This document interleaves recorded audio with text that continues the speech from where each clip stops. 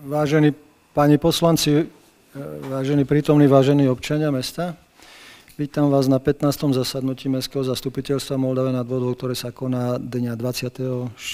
septembra 2024 o 14.00 hodín v sobašnej sieni Mestského úradu v Moldave nad Vodvou. Tisztelt képviselőnő, képviselők, tisztelt jelenlévők, tisztelt városlakók, köszöntöm Önöket a képviselő testület 15. ülésén, amelyet 2024. szeptember 26-án 14 órai kezdett el a Szepsivárosi Hivatal S2 termében tartunk. Týmto otváram rokovanie 15. zasadnutia Mestského zastupiteľstva. Konštatujem, že rokovania sa v tomto momente zúčastňuje 9 poslancov. Z dnešného rokovania sa ospravedlnili pani poslankyňa Adriana Gergej, pán poslanec inžinier Vojtech Bodnár a pán e, bakalár Ľudovit Mata. Keďže je prítomná nadpolovičná väčšina poslancov, konštatujem, že rokovanie je uznášania schopné. E, za overovateľov zápisnice e, podľa rokovacieho poriadku pán Zoltán Dobož a pán Jaroslav Pupala. Dobre, ak je to možné.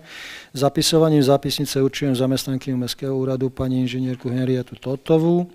Návrh programu rokovania zastupiteľstva ste obdržali s pozvánkou. Materiál k programu dnešného rokovania vám bol doručený elektronicky 19. septembra 2024 v tlačenej verzii a 21. septembra 2024. Návrh programu 15. zasadnutia Mestského zastupiteľstva bol zverejnený na webovom eh, sídle mesta. V súlade s novelou zákona 36990 zbierky o obecnom zriadení znení neskôrších predpisov podľa paragrafu 12 a nasledujúcich dávam hlasovať o návrhu programu tak, ako bol uvedený v pozvánke a zverejnený. Kto je za? Poprosím. 9. Konštatujem, že program bol schválený. Má niekto nejaké ďalšie návrhy na doplnenie?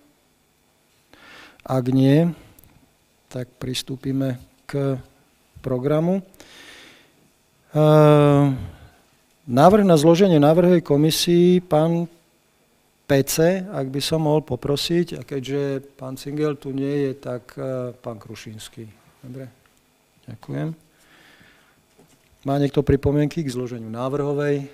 Ak nie, poprosím, kto je za? 7. Kto je proti? Zdržal sa?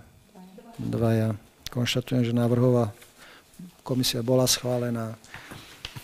Riešenie bezpečnostnej situácie mesta v Moldave nad Bodvou.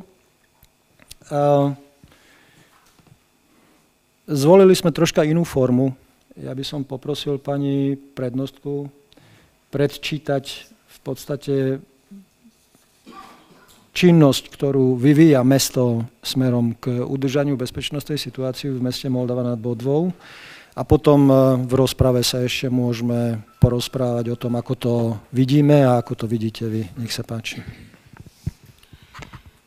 Ďakujem. Čiže ja som si to tak, alebo mesto to pripravilo, mestský úrad to pripravil v takých zložkách, kde hovoríme o tom, že čo všetko sa robí a koľko finančných prostriedkov aj pre obyvateľov, aby vedeli, že ako je vyčlenených na tú bezpečnosť v meste.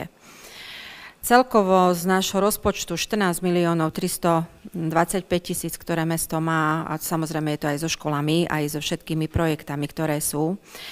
E, najväčšiu časť mesto dáva školstvu, to je zhruba 49%, čiže to je polovička, už nejakých 6 miliónov 900 tisíc.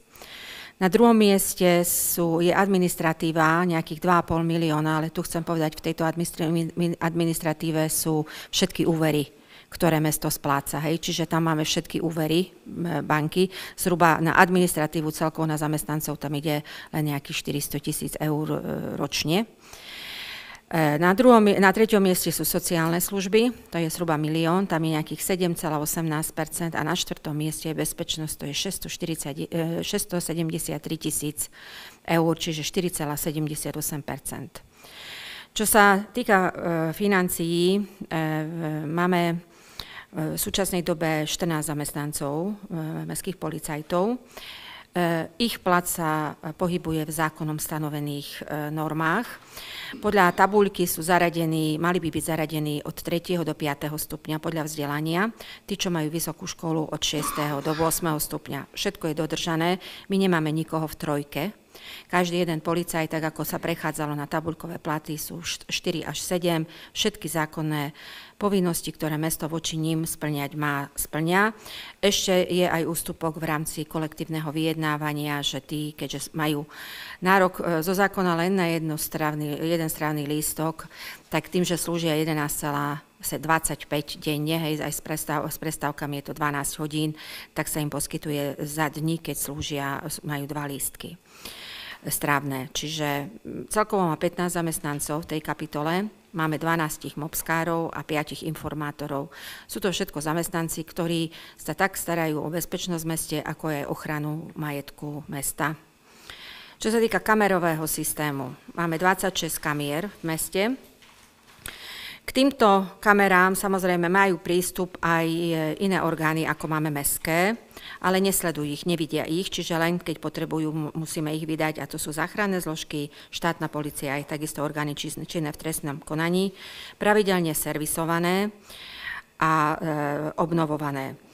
E, rozširovali sme kamerový systém o tri kamery v súčasnej dobe, alebo v poslednom období, a to je tá budulovská, vodná a technické služby. Boli montované nové zabezpečovacie systémy tak v mestských budovách, ako je ochrana budov, tak na Budulovskej. Máme napojené všetky budovy mesta na pult ochrany a potom samozrejme všetky, všetci, ktorí majú záujem, aj čo, čo sa týka mesta, eh, podnikatelia sú na ten pult ochrany napojení a naši mestskí policajti vykonávajú aj v prípade hlásenia eh, samozrejme eh, preventívnu činnosť. Ehm, keďže, tak ako už aj pán načelník povedal, e, verejný poriadok je vo veľkej miere v kompetencii štátnej policie, tá nemá žiadnu, žiadny kamerový systém a momentálne ten podstav znamená aj to, že, že e, všetku činnosť v tomto meste, tak ako aj náčelník pravdepodobne potvrdí, robí mestská policia. E, my sme momentálne pripravení aj personálne, aj, aj finančne na rozširovanie ďalších kamier. Pracuje sa na tom aj na skvalitňovaní kamerového systému tak, že momentálne sa posudzuje, že či ten server, ktorý má pán náčelník na e, kamerovom systéme, či je možné tento server, keďže už má niekoľko rokov, je to 7 až 8 ročný server, či je ho možné prepojiť práve s tým autom, o ktorom sme sa bavili. Momentálne teraz prebieha audit, keďže je to vysoko špecifická činnosť, takže mesto hľadalo e, odborne spôsobilú osobu. E, samozrejme, e, nie každý môže tento kamerový systém aj posudzovať, takže musí to byť v súlade aj s kybernetickou bezpečnosťou, aj s ochranou osobných údajov, keďže tie pravidelné kontroly mesto má a všetky veci sú splnené tak, ako majú byť. Čo sme, e, čo sme riešili, tak sú dané aj fotopasce na niektoré miesta. Myslím si, že tie miesta nebudem konkretizovať. Tam, kde sa schádzajú tieto skupiny, kde sa vyskytujú negatívne sociálne javy, aj vandalizmus, pitie alkoholu alebo konzumácia drog. Čiže, čiže naozaj mestská policia ešte má aj takéto systémy. Keď sa niečo stane, vieme si to pozrieť. Momentálne máme spracovaný projektov na, v rámci bezpečnosti, e, spracovanú do, e, projektovú e, dokumentáciu na LED osvetlenie verejné. Máme už v celom meste kompletne. Momentálne sme museli nájsť, keďže uznesenie je, že chceme ísť formou GES, kového projektu, čiže garantovanou energetickou úsporou, tak sme, máme, máme verejné obstarávanie ukončené na auditora, čiže ktorý bude robiť dohľad. E, sú to špecialisti, ktoré nám zo strany Ministerstva hospodárstva a úradu boli e, odporúčaní, čiže našli sme aj takúto osobu, ktorá nám pripraví verejné obstarávanie, ktoré vám bude predložené pravdepodobne v najbliž, ešte tento rok, čiže buď na ďalšom, alebo až e, v novembrovom mestskom zastupiteľstve, keďže sú to tak špecifické témy, takže bude to robiť odborne spôsobila osoba. Ide zhruba o investíciu pol milióna do rekonštrukcie, čiže to sú stavebné práce a ďalší pol milióna pravdepodobne na službu na 10 rokov, aby sa tá investícia vrátila. Pre ostatných GESCO je niečo také, že my budeme platiť za službu a tým splatíme investíciu. Hej. Čiže väčšina miest ide touto formou, pretože environmentálny fond, ktorý dával pôžičku za veľmi dobrých podmienok, v auguste zrušil možnosť využívania, využívania mm, pôžičky do verejného osvetlenia a už okrem komerčného, e, komerčných návratných zdrojov nie sú možné, iba táto forma gesková. A e, my sme si pozreli, veľa miest ide touto formou do verejného osvetlenia, čiže spláca sa 10 rokov táto služba, tak je aj audit spracovaný zo strany Slovenskej energetickej a inovačnej agentúry, čiže do tých 10 až 11,2 rokov podľa toho, aké svietidla budú, tak mala by sa táto investícia mestu vrátiť a samozrejme po tých 10 rokoch je kompletne všetko majetkom mesta aj bude vlastne navýšený majetok mesta o túto investíciu a rekonštrukciu. Ale všetky podrobnosti vám budú predložené, už keď budeme mať hotové všetky podmienky týkajúce sa rekonštrukcie. E, mesto má schválenú MOPSku, čiže miestnu občianskú a preventívnu službu, E, máme maximálny počet členov, čiže naozaj je ich 12, viacej nemá žiadne mesto. Boli sme medzi prvými. E, všetko to, čo e, robiť majú, sa na nich aj tlačí. Sú na poliklinike, sú na frekventovaných miestach a naozaj ten tlak aj z mesta je aj na náčelníka, aby ich bolo viacej vidieť a aby tá ich činnosť bola, bola monitorovaná tak čo sa týka odpadu, ako sa týka, myslím si, že pán načelník vie k tomu potom povedať, že sú aj mm, rôzne prípady, ktoré oni dokumentujú a hlásia. E, s čím však máme problém, a to asi potvrdí pán náčelník, je, že namesto žiadne oficiálne hlásenia nejdú, čo sa týka bezpečnosti. Pravdepodobne tak asi ako aj vy, veľa vecí sa rieši na sociálnych sieťach a ono mesto na tie sociálne siete nereaguje, čiže naozaj e, oficiálne podnety, ktoré sa týkajú bezpečnosti, je ich veľmi málo, to asi ich potvrdiť.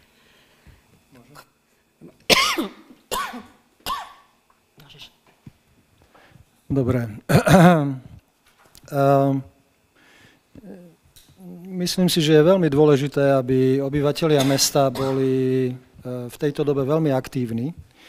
E, a aktívni hlavne v tom, že že ja by som chcel, ja, je to tu napísané, ale asi je to aj správne napísané, že chcem apelovať na všímavosť e, e, ľudí a nepoceniť akýkoľvek náznak možného nekalého konania. Jednoducho je veľmi dôležité, že ak je niekto svetkom nejakého hrubého zaobchádzania, po prípade či už fyzicky alebo len z počutia, je treba konať okamžite nie je možné zanedbávať takéto veci. Možno tým sa zachráni život, alebo, alebo možno sa zabráni pokračovaniu nejakého stupňujúceho sa násilia e, na, na, na našich susedoch alebo na komkoľvek v podstate, priateľoch či iných občanoch e, tohto mesta. E, nemôžeme byť apatickí voči tomu, čo sa tu deje bezpečnostná situácia v tomto meste není ojedinelá. Je v celej republike aj v iných mestách. Hovorím hlavne o mestách v podstate. Toto, čo sa deje dneska, je súhrm množstvo, množstva vecí. Napríklad zmenou trestného zákona, kde priestupky sú kvalifikované absolútne inak, prístupom štátu k tomu, akou formou sa vysporiadávajú s trestným činom, ktorý je dneska prekvalifikovaný na priestupok a potom títo ľudia sa vracajú naspäť z väzníc a bez škrupulí konajú tú činnosť, ktorú konajú tým, že štát nám nedáva dostatok finančných prostriedkov na to, aby sme tú bezpečnosť zvýšili, všetko je na našom, na našom chrbte, jednoducho nedostávame žiadne zdroje na, na, na kamerové systémy, na podporu infraštruktúry na bezpečnosť, neposilňuje sa štátna e, e zložka e, e, policajtov v podstate v tomto regióne.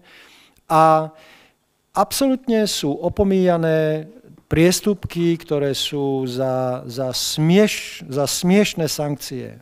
Ak niekto, dnes, niek, niekto dneska ukradne nejaký tovar alebo nejaký majetok alebo ho spôsobí školu za 300 eur, v rámci priestupkového konania sa pohybujeme zhruba okolo 30 eur.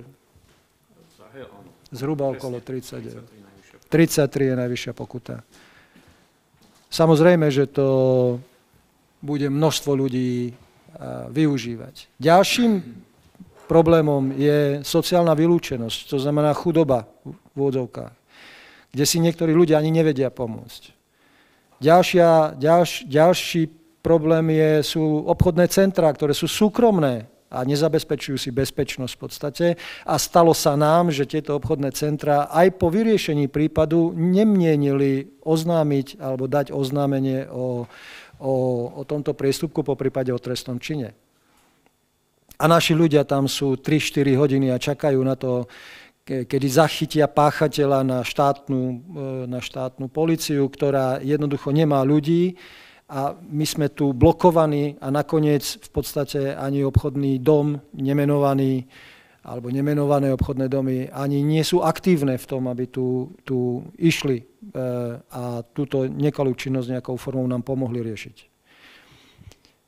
Mestská policia nie je od toho, aby tu chránila súkromný majetok spoločnosti. Ja už som to hovoril miliónkrát. A napriek tomu, napriek tomu sa to deje a tieto spoločnosti jednoducho nereagujú na to, aby tá ochrana bola zvýšená. Aby bezpečnosť aj našich ľudí v tomto priestore bola zvýšená. Nevidel som ani jednu kameru na parkovisku týchto obchodných domov. Ani jednu. Ani monitorovanie. Nič. Nič. Ale zisk to je podstatná záležitosť. A preto im nechýbajú ako dneska dva kartóny nejakej pálenky ukradnutej a hneď na to aj, neviem, dva kartóny, neviem, čokolády a neviem čoho všetkého. To im nechýba, lebo to je v rámci strát, v rámci ziskov asi už započítané, zakalkulované. Takže ešte raz poprosím, ak je to možné, ak, ak si chceme udržať poriadok v tomto meste, jediný orgán, ktorý je na to príslušne, vecne, miestne príslušný, je mestská policia, po prípade štátna policia, poprosím, oznamujte akúkoľvek nekalú činnosť v podstate na tieto zložky a ak si neviete pomôcť, tak kľudne aj na kanceláriu primátora, po prípade na mestský úrad. Každú jednu sťažnosť vyriešime. Každú jednu. Do dneska sme ich riešili, mali sme tu aj kontroly na sťažnosti. Každú jednu sťažnosť vyriešime, ak nám dáte možnosť, aby sme ju vôbec riešili. Uh, toľko z mojej strany k bezpečnosti. Ehm, toto všetko, toto všetko je len jedna časť. Ehm, chceme si plniť e, záväzky aj smerom k, k odpadu, ktorý je v, súčasťou celej tejto agendy. To znamená, pripravujeme, tak ako sme sa dohodli, pani poslanci, ten jeden startup bude na, vybraný na námestí Mieru. Tam je tá prvá, prvý kontajnerovisko, to prvé, ktoré ešte je zo zdôb socializmu. Takže toto je vymerané, zbúra sa, dneska máme predložené cenové relácie, akou formou to vyriešiť, aby uvidíme ten klietkový systém. Po prípade vám donesieme už ďalšie modernejšie návrhy, e, polopodzemných, ľahšie stanovených e, e, kontajnerov a rozhodneme sa v komisii potom, že ktorá forma pôjde. Není to lacná záležitosť už dneska, ale jednoducho sme sa dohodli, že pôjdeme tým smerom a ak nám to vyjde a osvedčí sa, tak potom by sme pokračovali ďalej v meste s vyčlenením prostriedkov na budúci rok a išli na ďalšie stanoviská. Zároveň e, musíme riešiť odpad. Ten odpad máme tak, že e, verejné obstarávanie by malo byť by malo byť do konca roka. Samozrejme sú tu nové povinnosti zo strany, nariadené zo strany štátu. E, nechcem to tu rozvádzať, ale ja tiež len hovorím, ako Facebook je zaujímavá záležitosť, ale ako primátor mesta nebol zvolený na to, aby tu aby tu robil handru pre kohokoľvek. Ja mám tiež svoju dôstojnosť. A plním si len zákonné povinnosti, lebo ja iné povinnosti nemám. Zákonné. A keď si niekto myslí, že keď je, len príklad poviem, keď sa snažíme výjsť v ústrety ľuďom s tým, že máme túlavých psov a pozbierame ich, aby nikoho neohrozovali, vytvoríme pre týchto psov priestor tak, že v podstate svojpomocne máme e, boxy a staráme sa o týchto psov, očkujeme a po prípade potom to dávame ďalej, v podstate tých, ale, ale tie organizácie neziskové sú absolútne plné a potom niekto vykrikuje, že primátorovi pred mesto, pred jeho vlastný dom donesie týchto psov, alebo po prípade nechcem potom ešte hovoriť, že čo ešte všetko my chceli ako primátorovi mesta doniesť k tomu domu. Ja tomu pánovi aj týmto ľuďom oznamujem, ja som Moldavčan, ja nie som pristahovalec. Ja som sa tu narodil, chodím po týchto cestách a viem, čo to tu, ako Moldava funguje. A keď niekto toto v tom nie je uzrozumený, že akou formou a nepozerá mestské zastupiteľstva a necení si prácu primátora po prípade poslancov tohto mesta, neverím, že má vôbec právo sa ozývať takouto formou na nejakom Facebooku. Ja Facebook nečítam sporadicky, toto pre mňa není oficiálna stránka. Ak má nejaký, niekto nejakú stiažnosť, nech pekne podá na mestský úrad, aby sme tú stiažnosť vedeli vyriešiť. Ale toto si vyprosím, aby sa voči funkcionárom mesta alebo, alebo, alebo zamestnancom mesta, po prípade poslancom mesta, niekto vyhrážal. Tie vyhrážky nech si nechajú všetci doma. Ak majú problém s vlastnými rodinami, po prípade s vlastným nazeraním na svet, je to ich problém. Ja ich riešiť nebudem. Nie som tu od toho. A, a tu už prekračuje hranicu všetko možné, pretože ja nechcem sa dostať do stavu, aby som mal obavu o svoje zdravie, po prípade ohrozenie svojho života, lebo niekomu niekde už sa to stalo v tomto štáte, že švihlo a potom, potom budú sa prekračovať hranice. Ja za toto nemôžem, ja som volený tak, ako som prislúbil, volený som tak, ako som hovoril, že sa splní náš plán, ale ja som tu muž alebo človek zo zákona, nie zo svoj vôle aj plním veci nie zo svojej vôle. Takže nech sa vytvárajú akékoľvek skupiny nespokojencov a všimal som si, že tí ľudia ani nie sú stade, to sú niekade z okolitých obcí. Bohovie skade prišli, neviem, aké majú podmienky a neviem, že či, či ľudia z okolitých obcí vôbec chápu, že kam sa dostali, do akého stavu v tomto meste, tak je dobré, keby sa ozrejmili, pretože vášne v tomto slova zmysle vášne v tomto slova zmysle neriešia nič. A ešte raz hovorím, ešte raz sa mi niekto bude vyhrážať v podstate, tak to budem riešiť absolútne inou formou. Ja tu od toho nie som. To je tiež bezpečnosť. Ja sa chcem tiež cítiť bezpečne v tomto meste a ja vynakladáme maximálne úsilie na to, aby sa tu ľudia cítili bezpečne. Sú objektívne podmienky a subjektívne podmienky. Ale to je možno neznáme slovo pre mnohých ľudí v tomto meste. Um, ešte k poriadku, aby sme vedeli, akou formou. Pani prednostka ešte, e, ešte má príspevok. Ja len naozaj som chcela k tomu odpadu. E, veľakrát e, je, sú pofotené súkromné pozemky, napríklad Bila a okolie Bily nepatrí mestu, není to verejný priestor. Celé parkovisko, od začiatku parkoviska až po koniec parkoviska je súkromný pozemok Billy a za tým parkoviskom, kde sú tie biele tácky, tak často odfotené, to je súkromný pozemok občana Moldavy, treba si pozrieť v katastri. My to čistíme, ale je to súkromný pozemok. Ja som tu mala pani z Billy, ktorá má na starosti budovy z Billy predvolané, čiže naozaj mesto robí všetko. Keď sme zistili, že raz týždenne Bila čistí svoje okolie, je to fakt naozaj na Moldavu nedostačujúce. A nevidieť pri tých okolí obchodných domov žiadného zamestnania. Každý jeden obchodný dom má v svojom okolí, to sú súkromné pozemky obchodných domov a nie verejné pozemky mesta. Čiže tak Lidl, tak Tesco, tak Bila má svoj súkromný vajetok. To je jedna vec pre, aj pre obyvateľov. Ďalšia vec, e, ako všetci asi sme registrovali to video z námestia Mieru, hej. E, naozaj stalo sa to, že podzemné kontajnery v sobotu neboli vyvezené, ale 50 metrov vedľa boli tisíctovky, ktoré boli úplne prázdne, ale úplne. V pondelok som prechádzala mestom ráno, aj v nedeľu večer si to prešiel viceprimátor, pretože pán primátor bol vtedy služobne preč, úplne prázdne tisíctovky, čiže naozaj bolo treba urobiť len to, že 50 metrov ísť ďalej a vyhodiť ten smetný kôš. Alebo to, to smetie, ako dáme na zem, sú tu zvieratá, e, psi, hoď vietor fúkal v ten deň, čiže naozaj to smetie je potom všade. Čiže Stáva sa nám to, že ľudia ani do smetných košov nevídu, ale do tých malých príručných smetných košov dajú svoje smetie. Čiže apelujem naozaj aj na obyvateľov, aby, aby sami sebe si nerobili a potom sa zobudím v nedeľu a fotím a vyložím na Facebook. Čiže, čiže my sme to riešili všetci a aj so zberovou spoločnosťou. Aj sme ju vyzvali, že ako náhle nepríde auto, obyvateľia o tom musia vedieť, čiže naši zamestnanci sú pripravení. Zo strany úradu bolo urobené všetko preto, aby toho odpadu bolo čo najmenej. A čo sa týka skládok, aj toto sme riešili, lebo to tiež sa ráno niekto zobudie, odfotí zase na Debratskej, e, aj cintorín. Cintorín je už opravený, aby ste vedeli.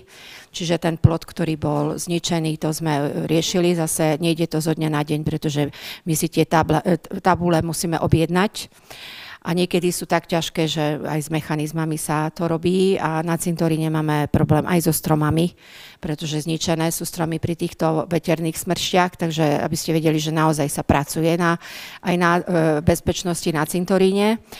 A e, odstraňujú to obyvateľia, tí, ktorí tam bývajú, ten čiern, tú čiernu skládku, ktorá je na Debratskej, čiže aj to je dohodnuté s úradom práce a kompletný odpad je odstraňovaný e, tými, ktorí poberajú dávky, že sme, že sme naskočili aj na tento systém, takže naozaj mesto robí všetko preto, aby aj toho odpadu aj v našom okolí bolo čo najmenej, ale viete, je ťažké, že idete po meste a nie sú to len e, obyvateľia, na ktorých sa tu tak nadáva, ale každý chytí papier a hodí ho na zem. Hej. Čiže niekedy si naozaj ten odpad robíme kolo seba sami.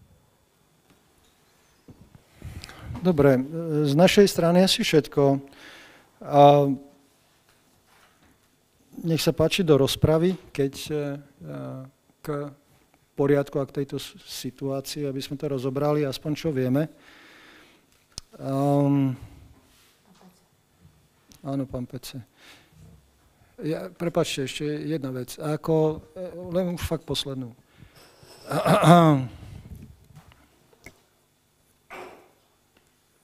boli také zvláštne odozvy aj na to, že bol robený rómsky festival v Moldave. Aj tu by som poprosil upozorniť, e, všetci majú právo na kultúru.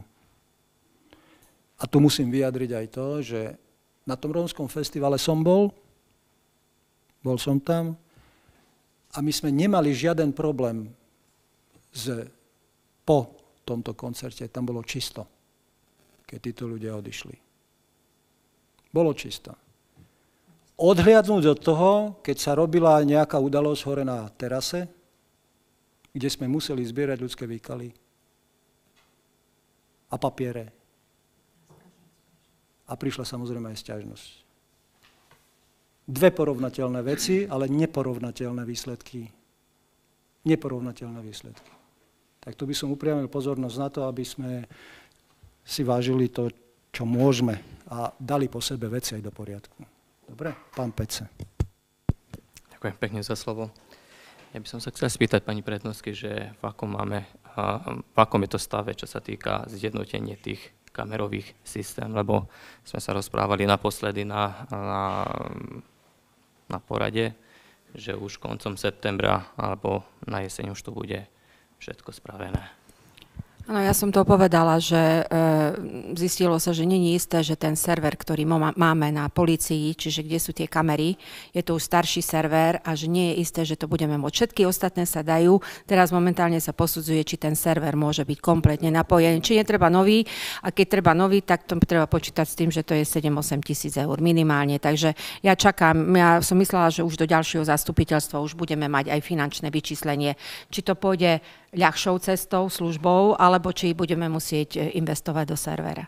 Hej, čiže robíme na to. A mesto už vypo, vypovedá tie zmluvy, tie staré, alebo niečo aj také ste spomínali, že sú tam a, rôzni dodávateľia, ktorí, ktorí fungu, a, cez ktorých fungujú tie kamery a, a ste hovorili, že to ešte potrebuje čas, kým sa to vyrieši celé. Áno, e, pán Pece, to je troška naopak. E, my nemôžeme vypovedať nič, lebo v podstate oni sú vlastníkmi sieti. Chápete? Oni sú vlastníkmi sieti. To, my využívame ich siete na to, aby sme mali zjednotený kamerový systém. Takže ja keby som vypovedal, tak nemám v podstate dosah na kameru. Poviem to takto. Takže je to naopak. Hej, že nevypovedáme, skôr hľadáme cestu tak, aby to zosieťované bolo, aby sa k tomu mohli dostať aj iní, to znamená čítať, aby to vedeli aj iní. Zároveň e, k tým kamerovým systémom, v podstate, a to musím povedať, teraz e, ministerstvo školstva, e, aj to je, to je tiež tento poriadok, dobre, že ste to spomenul, ministerstvo školstva alebo ministerstvo vnútra, teraz neviem ktoré, jednoducho bude dávať veľké peniaze do kamerových systémov v školách. A zároveň, keďže od 1.1.25 to pôjde, aj škôlky budú pod, pod gestiou štátu, tak pevne verím, že aj do týchto budov, to znamená do škôlok, pôjdu kamery, ktoré budú dotované zo strany štátu a my by sme sa chceli pripojiť troška inou formou a to je tá, na tom sa ešte musí pracovať, uvidíme, že by sa aj všetky verejné budovy v podstate aj vo vnútri, to znamená vchody a aj iné priestory zakamerovali všetkých verejných e, budov, aby sme tú bezpečnosť pociťovali e, lepšie. Takže toľko. Nech sa páči ešte. Pán Čala. Ďakujem pekne za slovo. Ja mám viacero pripomienok e, k tejto ako ťažkej situácii a myslím, že dosť veľa vecí odznelo, s čím sa určite dá súhlasiť. E, myslím si, že možno s väčšinou tých vecí. E, čo sa týka hm, tých veľkých obchodných reťazcí, naozaj mňa to zaráža, že nielen v Moldove, ale aj povedzme aj v Košiciach, je stále viac takýchto, by som povedal, neprispôsobých občanov, ktorí, tam, ktorí sa tam stiahujú, povedzme na to parkovisko a tam, tam žijú, obťažujú ako tých, ktorí tam ako nakupujú a po niektorých samozrejme, že aj kradnú, aj ako čoraz vo väčšej miere. A naozaj je to zaražajúce, že žiadnym spôsobom to nie je nejak podchytené z ich strany, ktorí naozaj ako vykazujú ťažké zisky. To znamená, že ja si nemyslím, že napríklad keď si môžu dovoliť SBS vo vnútri a viem, že ešte aj na tom sa snažia šetriť, tak, uh, takže nejakým spôsobom to neriešia tie ich vonkajšie priestory Takže v tomto smere ja dávam absolútne za pravdu, že, že tie reťazce by sa mali, mali starať viac o, o svoje vlastné záležitosti, by som povedal, lebo v podstate ako donútia ako tých, tých uh, návštevníkov, aby odišli tam, kde vlastne ako takéto negatívne skúsenosti nemajú. Ale pomaličky vlastne ako už v podstate nie je kam ísť, keď hovorím, že aj v Košice je to naozaj tragické. Možno keď človek pôjde do Optimy, tak s takým niečom sa nestretne, ale už, ale už napríklad aj u veľkom Tesku v Košiciach sa s tým stretávam úplne na bežnom poriadku. Takže je to, je to obrovská tragédia, aj z hľadiska toho, že že tie drob, drobné krádeže, ako t, t, zadefinovanie drobných krádeží, ako že sa zvyšila úroveň, čo sa týka uh, možnosti potrestania tých, ktorí akože kradnú. To znamená, že že podľa mňa ten zákon prijali ľudia, ktorí tu ako na východe v živote neboli, lebo toto je, toto je, katast- to je jednoducho katastrofa. To ako naozaj dávam za vinu ako poslancom, poslancom v parlamente, ktorí ako vedeli niečo takého prijať. To je jednoducho hotová katastrofa a tým pádom celú samozprávu alebo celé samozprávy tu na východe hlavne a na južnom, ale tých chudobnejších, by som povedal, na chudobnejších miestach republiky ako dávajú do strašne ťažkej fázy a mm, sú nútení, samozrejme sú nútené tie samozprávy hľadať nejaké ďalšie riešenia. To je to, čo s tým by som povedal, že každý podľa mňa súhlasí, kto len, len trošku rozumne uvažuje a tá situácia je naozaj, naozaj náročná. Som rád, že pani prednoska mm, dala nejaký krátky prehľad o tom, že koľko peňazí vlastne ide na, ide, uh, koľko financí ide uh, do rozpočtu na bezpečnosť. Uh, tam by som sa chcel spýtať tých 673 tisíc ročne, že z toho zhruba mm, tá MOPSka predstavuje jakú, jakú hodnotu, keď zhruba by ste vedeli povedať. Tak my sme dostali na rok 190 eh, tisíc, čo sa týka projektu, pretože ideme pred financovaním, čiže nám poslali to je do plusu k rozpočtu, hej. Ale Ešte, to je, je v je v rozpočte, je, hej. Je v tom Čiže zhruba uh, 10-11 tisíc je mzda, dajme tomu mesačná, 12, viac, hej, či, čistá odvody na to, takže 190 tisíc máme na rok na zúčtovanie, hej. V tom sú mzdy a plus 30% paušálu, stravné listky, e, pracovné oblečenie, e, školenia a tak ďalej. Čiže toto všetko ich činnosť pokrie táto suma. Uh-huh. Bolo Čiže na dva roky, ja neviem, sme dostali 380 tisíc e, na 36 mesiacov, či ako máme, či neviem teraz rýchle číslo, e, koľko sme, ale kompletne sme oprávnení. Odišli už 4 žiadosti o platbu, všetky sú schválené bez toho, že by nám škrtali nejaké peniaze. Čiže naozaj tam sa odúčtovávajú mzdy a plus 30% paušálu, ktorý je e, v dispozícii na ich činnosť, čiže na, na, na tie ďalšie vedľajšie náklady. Ja ďakujem pekne. Ja si myslím, keď sa bude dať, tak trošku sa tomu povenujem aj na tej finančnej komisie, lebo ako keď sa nemôžeme na nikoho spolahnúť, ako ja si myslím, že bude nevyhnutné, aby sme navyšovali ten rozpočet na bezpečnosť. Či už samozrejme na základe toho, ja nehovorím, že, že by sme len tak slepo navyšovali, ale tak eh, priznám sa, že že som trošku čakal aj z Komisie eh, pre ochranu verejného poriadku, že prídu tie návrhy, ktoré tu boli slúbené začiatkom mája alebo júna, akým spôsobom by sme mohli bojovať proti, proti tomu nešťastnému stavu, ktorý tu ako v meste panuje a aby sme sa tomu začali venovať. Ako odznelo ten, odznel ten kamerový systém, sledovanie kamerového systému online, čo si myslím, že akože by veľmi pomohlo, keby sme urobili. Ten klietkový systém, čo sa týka odpadu, si myslím, že tiež to je konkrétne opatrenie, na ktorom sme sa zhodli a tiež pomôže, takže som zvedavý na to, že ten rozpočet e, bude aký. Ale naozaj by som bol rád, keby, ja viem, že ako zázrak sa spraviť nedá, to si povedzme na rovinu, ale, eh, ale dúfal som, že aj tá komisia príde s nejakými návrhmi, na základe ktorého by finančná komisia už mohla pracovať a, a nejakým spôsobom vyčleniť nejaké prostriedky alebo rátať s nejakými prostriedkami z rozpočtu, ktoré by sme vedeli použiť ako v tomto, v tomto smere. Eh, k tomu klietkovému systému tiež som naozaj zvedavý, že jak vyjdú tie, jak vyjdú tie kalkulácie, aby sme, aby sme urobili ten prvý krok na námestí Mieru a otestovali, jak to funguje. V každom prípade ja by som bol rád, keby, keby e, tento systém by sme vedeli použiť čo naj, a vedeli by sme robiť všade ako na tom sídlisku čo najrychlejšie a samozrejme nielen na sídlisku. Takže ešte raz, e, chýba mi trošku ten, ten, ten smer, e, kde by sme sa mohli zlepšiť a čo by sme mali urobiť a jak by sme mohli, čo by sme mohli napríklad my schváliť ako ten vyšší rozpočet, to je jediné, čo ma akože teraz ako konkrétne napadá. E, tých e, opatrení napríklad v smere tom, že ako tie sťažnosti samozrejme sú opakovane na, na rušenie nočného kľudu, v poberaní dávok, ako posilnenie ako tej bezpečnosti nejakou formou. Ja už nechcem zase, ja naozaj nie som v tom odborník, ale práve preto som, by som chcel vyzvať zase tú komisiu, aby, aby dala nejaké doporučenia ktoré sú v súlade aj so zákonom. Ja viem, že je to veľmi ťažké a až niekedy viem, že je to boj s veternými mlynmi, no napriek tomu by som bol rád, keby taký dokument vznikol. Ďakujem pekne. OK. Uh, ur, určite uh, ako sme rozumní, inteligentní ľudia, e, chápeme, že bezmocnosť e, nejakej komisie e, poriadkovej či akejkoľvek v podstate vychádza z praxe, lebo v tej komisii máme aj policajtov z štátnej policie a asi, keď už ani oni nevedia, čo máme robiť, tak už potom je asi problém. A druhá vec je, to, o čom sme sa tu bavili, pán poslanec, to sú všetko len technické veci. Ale kto pácha tú činnosť? To nie je odpad, ale človek ako taký, ktorý nie je trestaný za svoju činnosť. To je zásadný problém. A potom si myslím, že tam je ešte množstvo iných vecí. Napríklad, ja na záver vám poviem, že čo je gro. E, ak sa pozriete na to, akou formou je tento štát, v, akej, v akom stave, že my nie, že my máme na kapitálkach nulu, nulu. To znamená, každé opatrenie, pán poslanec alebo páni poslanci, ktoré budeme robiť, bude úver.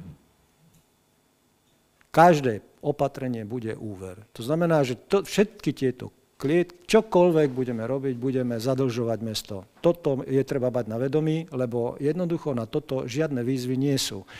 Ja mám, ja mám dnešnú informáciu aj z Národnej rady, podstate za obdobie 2127 čerpanie eurofondov v tomto štáte je 0%. 0%. To zaznelo dneska v Národnej rade. Neviem, z čoho máme čerpať. Hej? To, to, takže to sú financie. keďže na kapitálkach máme nulu a z európskych peňazí nevieme čerpať, lebo nedá sa, keďže nie sú výzvy, tak potom ako to, toto určite bude predlžovať tú agóniu, v ktorej sme. A ja vám poviem na záver jeden prípad, že kde je problém. Alebo aj v čom je problém. A dosť, vý, dosť výrazný problém. Priš, nebudem menovať týchto ľudí, ale bývajú na podielovo, bývajú na hlavnej ulici.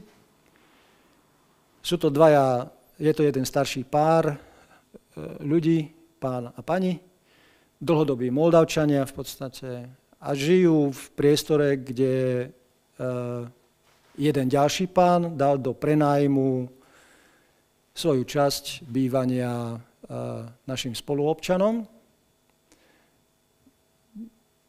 Dneska tento starší pár boli za mnou tento týždeň, minulý týždeň a mi hovoril pán primátor, tá situácia je tak neudržateľná, že my ako Moldavčania musíme ísť do nájmu do Košic. Lebo tam sa už nedá žiť. Môžeme hovoriť o tom, o Vodnej ulici, môžeme hovoriť o Debratskej ulici, môžeme hovoriť o ČSA a o tých našich známych problémoch, ktoré máme. Problém nie je v technickom zabezpečení ochrany. Problém je, že človek, ktorý pácha túto činnosť, nie je žiadnou formou trestaný. Žiadnou formou postihovaný. Toto je. A tu by som prijal apel aj tohto zastupiteľstva, ak by sme sa zhodli a dali apel smerom aj hore, to znamená aj pre štátne orgány, to znamená buď pre jedno ministerstvo, alebo pre ministerstva, alebo pre prezidenta Slovenskej republiky, mne to už úplne jedno, dať apel na to, že táto situácia je pre nás ako pre samozprávu nezvládnutelná a žiadame o pomoc. A žiadame o pomoc.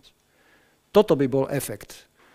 Lebo ak oni nebudú smerovať svoje výzvy, jednotlivé výzvy z eurofondov na bezpečnosť, tak tým pádom my nemáme čo čerpať a nemáme ani zdroje. Jednoducho nemáme zdroje na to, aby sme to vedeli kúpiť. Len tým, že by sme zadlžili toto mesto, čo je neefektívne v tom slova zmysle, že, ja, že si budeme brať na všetko pôžičky. Máme pred sebou rentgen, kde nám štát nedal ani cent. Ani cent nám nedal štát. Máme, máme ďalšiu jednu, nechcem hovoriť o službách, kde takisto sme boli odmietnutí v podstate. Ani cent nám nedali. Ale to musím ale povedať, že na nejaké ihrisko, na nejaké multifunkčné ihrisko, tak toto vedia dať peniaze za 100 tisíc a za 150 tisíc. Toto vedia dať na úrovni okresu a neviem kde. Ale rentgen pre 35 tisíc obyvateľov ani cent. A nikto, ani jeden orgán, ani jeden orgán. Spolu súvisiace problémy sú v tom, čo som hovoril. Človek je ten, ktorý v podstate tu dneska pácha a druhá vec je aj čo to je môj, ja teraz možno len filozofujem, ale aj ten, kto útočí na Facebooku a ktorý poštváva týchto ľudí, je samozrejme zúčastnený na tom, že, že ten neporiadok je ešte väčší. Že tie vášne sú ešte väčšie a že jednoducho sa podporuje, trestná činnosť sa takýmto spôsobom podporuje. Dneska som videl nejaké fotky, kde si nejaký pán, neviem kto to je, musel dvakrát ísť odpo- o- ofotiť plod na cintoríne, ofotiť, aby to mohol dať na nejakú sociálnu sieť. On nie je celkom v poriadku, tento človek. Lebo normálny človek by to oznámil mestskej policii. Ten by to oznámil mestskej policii. A keďže týmto ľuďom tu nezáleží na majetku tohto mesta, ja s tým neviem, čo spraviť. Takže súhlasím s vami v plnej miere, pôjdeme aj do tzv. papierových a technických vecí, ale tá výzva smerom k orgánom, ktorí nám majú pomôcť a mali by pomôcť, ja si myslím, že je smerodatná, aby sme vedeli aj čerpať zdroje na to všetko. Nemôžeme zadlžiť mesto v podstate tak, že už potom nebudeme za dva roky vedieť ani dýchať. To nejde. Ne, ne, blíži sa kríza, ak si to niekto neuvedomuje. Inflácia bude neskutočná, cash nebude, štátne orgány nebudú fungovať, trestná činnosť ide smerom hore, tma, prichádza tma, doslova do písmena v rámci spoločenských vzťahov. A v rámci obce si to musíme vybaviť sami. Keďže neschopnosť v podstate toho riadenia je tu tak, aká je. Hotovo. Ešte niekto do... Prepašte za môj výlev, ale mňa to trápi jednoducho. Ako veľmi ma trápi toto všetko, čo sa okolo nás deje. A nie, tak, ako možno aj tá komisia, teraz hovoríme o svojich kolegoch, možno aj o vás, že si nevie dať rady v podstate, ale ani my si už pomaličky nevieme dať rady. Ne, nevieme si dať rady. Nevieme. Fakt. Nech sa páči ešte na dodatok. Pán Čala a potom ešte kto chce. No, ďakujem pekne za slovo. Ako, čo sa týka tej žiadosti o pomoc, ale by som povedal, že výzvu aj e, tým príslušným štátnym orgánom, to absolútne súhlasím. To by malo ísť určite oficiálnou, oficiálnou cestou a možno, že by to malo ísť ešte dokonca e, v širšom meritku, aby sa pripojila ďalšie obce, ktoré zapese s rovnakým. Takže, no, takže určite áno, ale keby sme mali urobiť takúto výzvu aj my, si myslím, že akože toto poslanci všetko, všetko podporia. Uh, jedine, čo sa, týka, čo sa týka naozaj toho, už bez ohľadu na to, ja chápem, že sme v ťažkej finančnej situácii, ale napriek tomu musíme s niečím plánovať, musíme prichádzať s nejakými riešeniami, teraz bez ohľadu na to máme vyčísliť, však tak, jak sme robili aj predtým, pán primátor, bolo to úplne, úplne logické, že naplánujeme si niečo, uh, povieme si, potrebujeme viac ľudí, bude to stá- budeme potrebovať toľko a toľko peňazí navyše. Urobíme tie klietky, bude to stať toľko a toľko peňazí navyše. Posilníme, e, posilníme v nočných hodinách, e, posilníme pri vydávaní dávok naše bezpečnostné sily, budeme potrebovať toľko a toľko peňazí navyše. Ja viem, že to znie teraz, alebo momentálne, hlavne pri tej finančnej situácii, to znie skoro až utopisticky, ale keď si to nepripravíme, alebo keď sa nezhodneme aspoň na tom, ako ani ten prvý krok nespravíme, tak to nie je správna cesta z môjho hľadiska. Ďakujem. Správne, len e, zase len troška, len troška by som namietal. Ako vy ste vzdelaním ekonóm. Ja som vzdelaním právnik niekde a oblasť bezpečnosti ani vaša, ani naša téma. Takže ja by som dal možnosť potom v ďalšom bode, eh, ak dať možnosť možno novému načelníkovi mestskej policie, aby všetky tieto naše požiadavky splnil a požiadal v podstate mesto, že áno, vieme to vyriešiť, ale bude to stať toľko a bude to v tejto oblasti a tak a tak to máme nastavené. Lebo ja do, do zázemia, odborného zázemia nevidím. Jednoducho neučil som sa to, nemám k tomu. Preto máme mestskú policiu, aby nám pomohla v tomto slova zmysle. Takže súhlasím, len ja by som počkal, ak by sa táto správa, nejaký ten zámer podstate v rámci toho, čo nás čaká, keďže fakt tom je, že pán náčelník mestskej policie sa zdal svoje funkcie, takže budeme musieť byť veľmi dôslední v príprave nového náčelníka na ten zámer a akou formou si to predstavuje, ako túto situáciu na tejto regionálnej miestnej úrovni vybaviť. Takže ak súhlasíte, OK, ale šli by sme týmto smerom. Ešte niekto? Ak nikto, ďakujem pekne za príspevky. Rozpravu uzatváram a dávam hlasovať o predloženom návrhu. E, Mestské zastupiteľstvo Moldave nad Vodou po prerokovanie materiálu berie na vedomie informáciu o riešení bezpečnostnej situácii v meste Moldava nad Bodvou. Kto je za, poprosím? 9 jednohlasne. 9, ďakujem pekne. Bod číslo 3 je oznámenie o vzdaní sa funkcie náčelníka Mestskej policie v Moldave nad Bodvou pána Michala Gamráta a návrh na odvolanie náčelníka Mestskej policie pána Michala Gamráta. Uznesením číslo 309 2020 zo dňa 20.10.20 v roku 20 bol s účinnosťou od 1.11.2020 do funkcie náčelníka Mestskej policie mesta Molda nad Bodvou menovaný pán Michal Gamrát. Pán Gamrát dňa 12.9.24 podal do podateľne Mestského úradu Moldava nad Bodvou oznámenie o zdaní sa funkcie predloženie, v ktorom e, mestu Moldava nad Bodvou oznámil, že dňom 1.11.2024 sa vzdáva funkcie náčelníka Mestskej policie Moldava nad Bodvou. Podľa paragrafu 2 odsek 3 zákona 56491 zbierky obecnej policii v znení neskôrších predpisov náčelníka obecnej policie na návrh starostu vyvolá, vymenúva a odvoláva obecné zastupiteľstvo. V súlade s vyššie uvedeným preto navrhujem poslancom Mestského zastupiteľstva v Moldave nad Bodvou, aby podľa paragrafu 2 odsek 3 zákona 564 91 zbierky obecnej polícii v znení neskôrších predpisov článok 3 odsek 4 organizačného poriadku Mestskej policie v Moldave nad Bodvou prijali predložené uznesenie, ja ho predčítam a potom môžete do rozpravy. Mestské zastupiteľstvo Moldave nad Bodvou po prerokovaní materiálu berie na vedomie vzdanie sa funkcie načelníka Mestskej policie mesta Moldava nad Bodvou pána Michala Gamráta ku dňu 1.11.24 na návrh primátora mesta odvoláva pána Michala Gamráta z funkcie načelníka Mestskej policie mesta Moldava nad Bodvou ku dňu 1.11.24 schvaľuje od dňa 1.11. poverenie Michala Gamráta, zamestnanca Mestskej policie, Moldave nad Vodou dočasným vedením Mestskej policie v Moldave nad Vodou do času vymenovania nového načelníka Mestskej policie v Moldave nad Vodou, ktorý vzíde z výberového konania. Toľko. Aj toto je súčasťou tých bezpečnostných opatrení, ktoré sú. Pán Gamrát, aj keď beriem, že to je subjektívne stanovisko a hľadisko jeho, ale objektívne, objektívne dáva možnosť riešiť e, túto situáciu tým, že ja to berem technicky, že, že sa posilní alebo možno zmení filozofia vedenia mestskej policie v tom slova zmysle, aby sme reagovali na dobu, ktorú žijeme. Keďže toto asi momentálne tom stave nie je možné. Ja teraz poviem aj ešte, samozrejme, pán načelník sa vyjadri k tejto veci, ale pre mňa, čo je dôležité, ono to nie je len o práci načelníka mestskej policie. Ono toto, ja to vnímam aj ako dôsledok práce policajtov mestskej policie. To není subjektívna vec pána Gamrata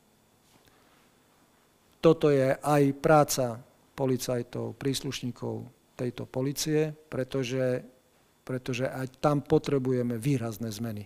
Ale doslova do písmena výrazné zmeny v činnosti tejto poriadkovej služby. Výrazné zmeny. A to asi bude možné iba tak, že, že dôjde k zmenám a závažným zmenám a jednou z týchto závažných zmien je aj to, čo pán Michal Gamrat v podstate spravil. A ja to vnímam celú záležitosť takto. Ak to niekto bude vnímať inak, to je jeho problém, ale, ale ja myslím, že je, je to veľmi reálny a veľmi pozitívny náhľad na vec. Ďakujem.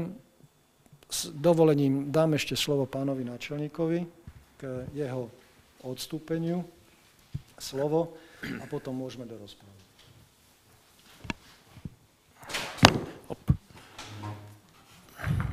Ďakujem za slovo.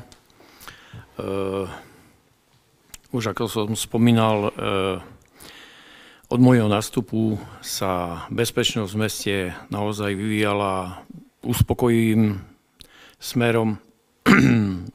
Dokázali sme zvládnuť uh, všetky nápady trestnej aj priestupkovej, priestupkovej činnosti.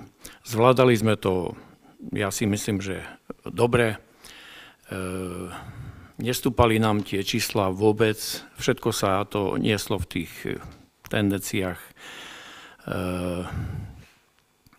až, až v poslednom období, to znamená, ak začal COVID, začala trestná činnosť stúpať.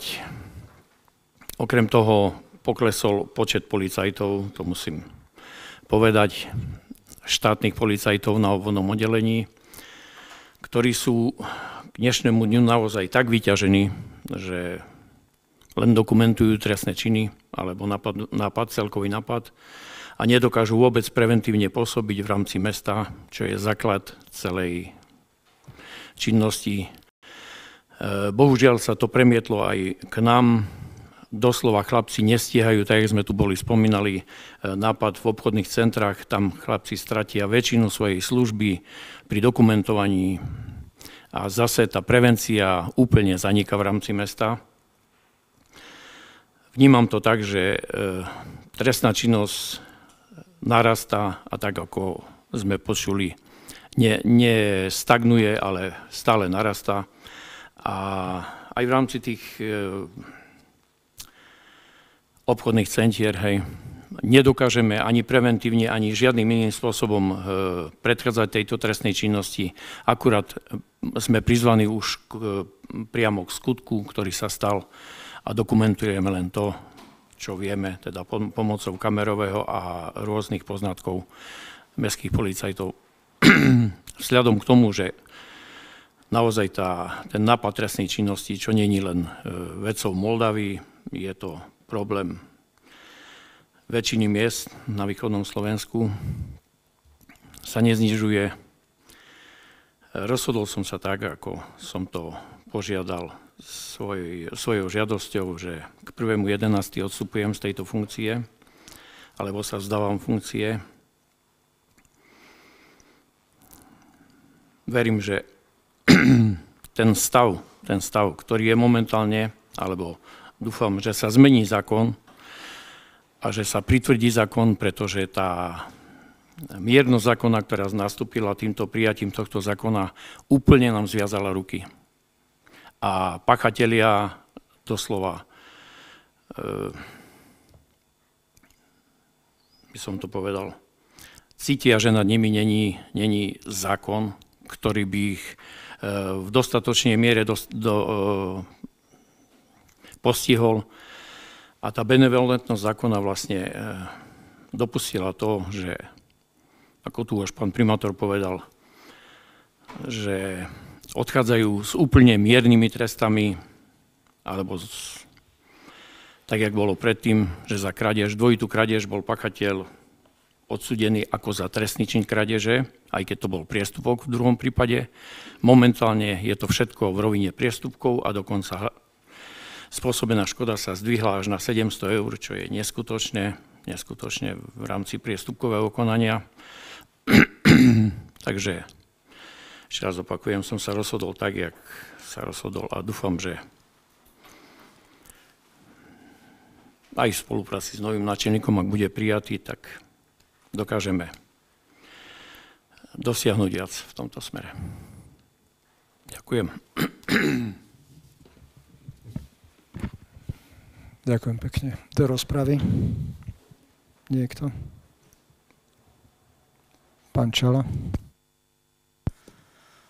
Ďakujem pekne za slovo. Mm, najprv možno k tým mm, základným záležitostiam. Tento bod sa chcem spýtať, keďže na Mestskej rade to prerokované nebolo, keďže sme neboli uznašania schopní, prerokovalo sa to na nejakej finančnej komisie? Komisia verejného poriadku prerokovala tento bod o vzdaní sa. No, ja som teda som si vyžiadal ešte um, obsah, teda ako zoznam bodov, ktoré sa malo, ktoré sa malo prerokovať, ale tam ten bod uh, není. Tam ten bod není a tam ten bod není, ako v pozvánke nebol uvedený tento bod. A zápisnica nie je na uh, webe.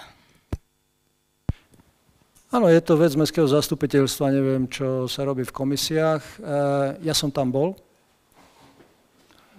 Bol tam aj pán Gamrát, bol tam aj pán Pece, myslím. Bol tam aj, aj pán Grujo, boli tam všetci a za mojej prítomnosti tento bod bol prerokovaný, že sa pán Gamrát vzdal. Že akou formou, kto robil zápisnicu, a to je to vaša záležitosť, my sme to fakticky prejednali v podstate. Ak tam bude chyba v zápisnici, po prípade nedostatky, tak budeme namietať podľa vašich námietok, ale je treba si poriadok spraviť vo vlastných e, radoch. Dobre, lebo ja som tam fakticky bol osobne a boli aj poslanci tam boli osobne a tento bod bol prerokovaný, pán Gamrát tam sa verejne vyjadril o svojom zdaní sa funkcie k danému dátumu. Že to nezaradili, či zaradili, ja som len host, ja som len host v podstate na komisii, takže ja nesledujem, že či to niekto zaradil, či není zaradil, alebo neviem, čo robil.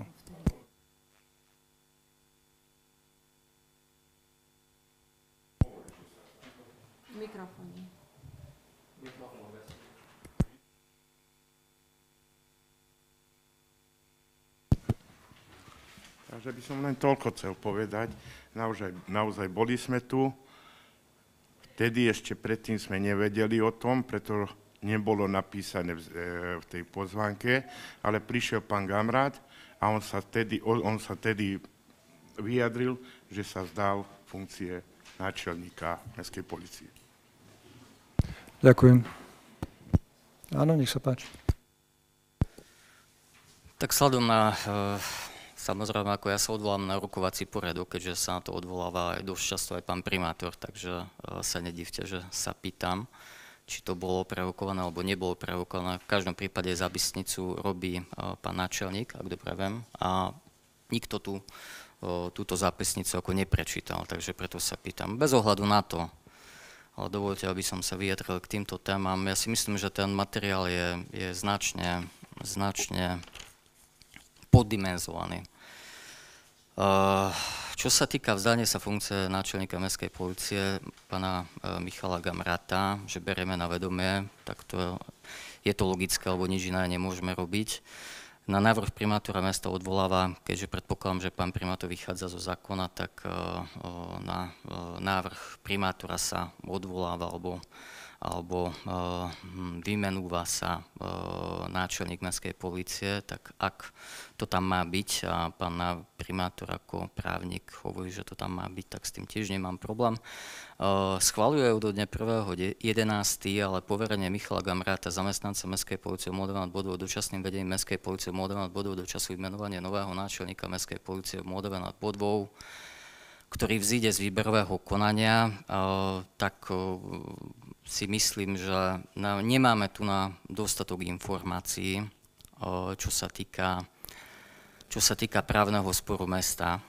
Ak dobre viem, tak je právny spor mesta s pánom náčelníkom, bývalým náčelníkom mesta pána Rigo.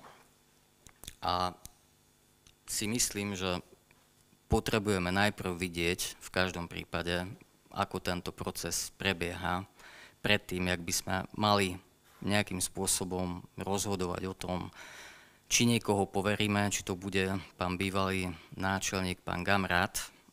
A bez toho, že by sme ten mali jasno v tom právnom spore, že by sme dostali nejakú správu od mesta ohľadom toho právneho sporu, tak si myslím, že o tomto bode, vzhľadom k tomu, že nemáme všetky informácie, eh, by sme nemali rozhodnúť a mali by sme to presunúť na ďalšiu, ďalšie zastupiteľstvo. Takže to v podstate ja aj navrhujem, aby sme, aby sme tento bod buď čiastkovo, čo sa týka schvaluje, alebo celý by sme presunuli na ďalšie zastupiteľstvo a ja osobne tiež ako žiadam, aby, aby všetky dokumenty súvisiace s právnym sporom, čo sa týka tejto pozície, bývalého náčelníka pána Riga, aby bolo distribuované medzi, medzi poslancami.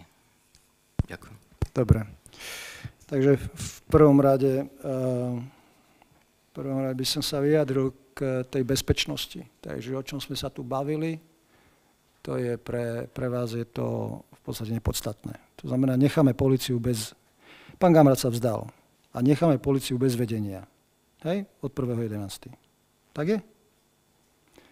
Pán primátor. Ja sa pýtam. Pán primátor, či... ja vám odpovedám, keďže Eš... takto útočne, prepačte, budem odpovedať. Neútočne, ja sa pýtam. Útočne. Ale prečo? Ako, ako žiadame to, čo podľa práva máme vedieť. To je jedna vec. Ano. Druhá vec.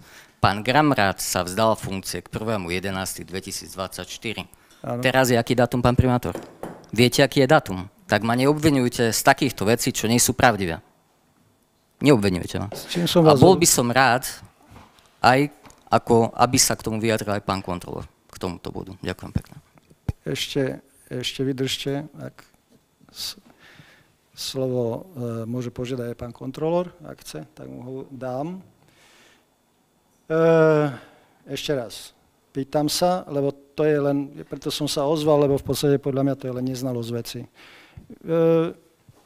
viete, máme schválenú štruktúru mestskej policie, a v štruktúre, organizačnej štruktúre mestskej policie je zástupca náčelníka mestskej policie, na čo vy nemáte žiaden dosah, pán Čala. Na zástupcu nemáte žiaden dosah. pracovnoprávne veci sú mojou záležitosťou, nie vašou. To znamená, my sme len chceli, aby to bolo verejné, aby sa ľudia vedeli oprieť o pána Gamráta. Ak to neschválite, tak či tak ho zaradím na zástupcu náčelníka mestskej policie a mne to nerobí nič. Ja som len chcel oficiálne, aby, aby pán Gamrát dotiahol tú svoju prácu, kým nebude vymenovaný nový náčelník mestskej policie. Čo sa týka pána Riga, veľmi v krátkosti. Pán Rigo je vyzývaný už 4 roky, aby nastúpil do práce. Ani raz som ho nevidel.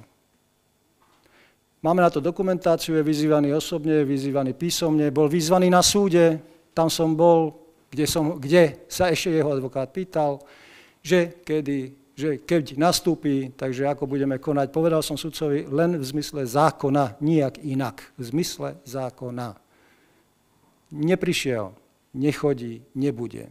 Jeho súdny spor je v stave, aby ste vedel, jeho nezaujíma mestská policia. Jeho zaujímajú peniaze. A keď sa bavíme o peniazoch, tak poviem, v akom stave to je. Prvé súdne konanie, ktoré sa jednalo o náhradu mzdy, bolo na Najvyššom súde zrušené ako komplet a vrátené úplne na začiatok. To znamená, prvý spor je prehratý a nepla- o, neplatnom, o neplatnom skončení. Ďalší spor, kde bolo valorizácia jeho platu, dneska sme v stave, kde krajský súd rozhodol o tom, že nemá nárok. Krajský súd rozhodol, že nemá nárok. A v treťom konaní, čo je dneš, dnešná doba, v podstate je odvolanie mesta voči rozhodnutiu okresného súdu. Ale to sú už len minimalistické záležitosti. To znamená, súdne spory sú sú prehraté zo strany pána Riga od počiatku. A súd musí toto prehodnotiť tieto, hovorím prehraté nie v absolútnom slova zmysle, prehraté v podstate v procesnom slova zmysle a všetko začína od znova. Všetko začína od znova. Takže nemám tu sa o koho oprieť a tieto náležitosti my sme si v zmysle zákona splnili. A ak už to tak má byť, a vieme vykázať absenciu tohto pána už 7 rokov na svojom mieste, lebo tento pán absentuje, nechodí do práce už 7 rokov. Podľa toho názoru, ktorý sa tu vedie, alebo neviem podľa akého názoru, tak za 7 rokov nechodenia do práce asi by ste nikoho, nikoho nezobral, nie? Alebo či? Ad jedna. To znamená, chápem legislatívu, ktorá je, ale ale, ale pán Čalá. Ak sa dobre pamätám, môj návrh na odvolanie pána Riga bol daný do Mestského zastupiteľstva a Mestské zastupiteľstvo ho v roku 2021 odmietlo. A dôvod? Nezaradil sa do programu. Tam ste bol, pán Čala. Áno, áno, tam ste bol. Tam ste bol. A ja si aj pamätám, čo bolo povedané aj na komisii. Pretože aj viem, ako sa vyjadril pán Zachariáš vo veci. Takže mne netreba nič hovoriť. Ten návrh ešte bol v roku 2021, aby sa tieto vzťahy vysporiadali a aby sme sa tu nemuseli súdiť. Pán Rigol dostal návrh na mimosúdne vyrovnanie, odmietol. Písomnú dokumentáciu pred súdom bolo jednoducho odmietol.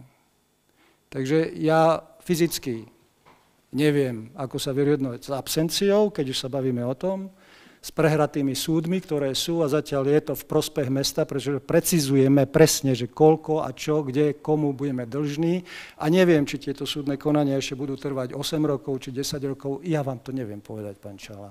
Závisí od toho, že či sa mestské zastupiteľstvo rozhodne v tejto veci administratívne konať, to znamená tak, ako bolo v roku 2021, dám návrh a jednoducho sa táto vec musí vyčistiť. Lebo inak budem trvať na tom, na čom trvám.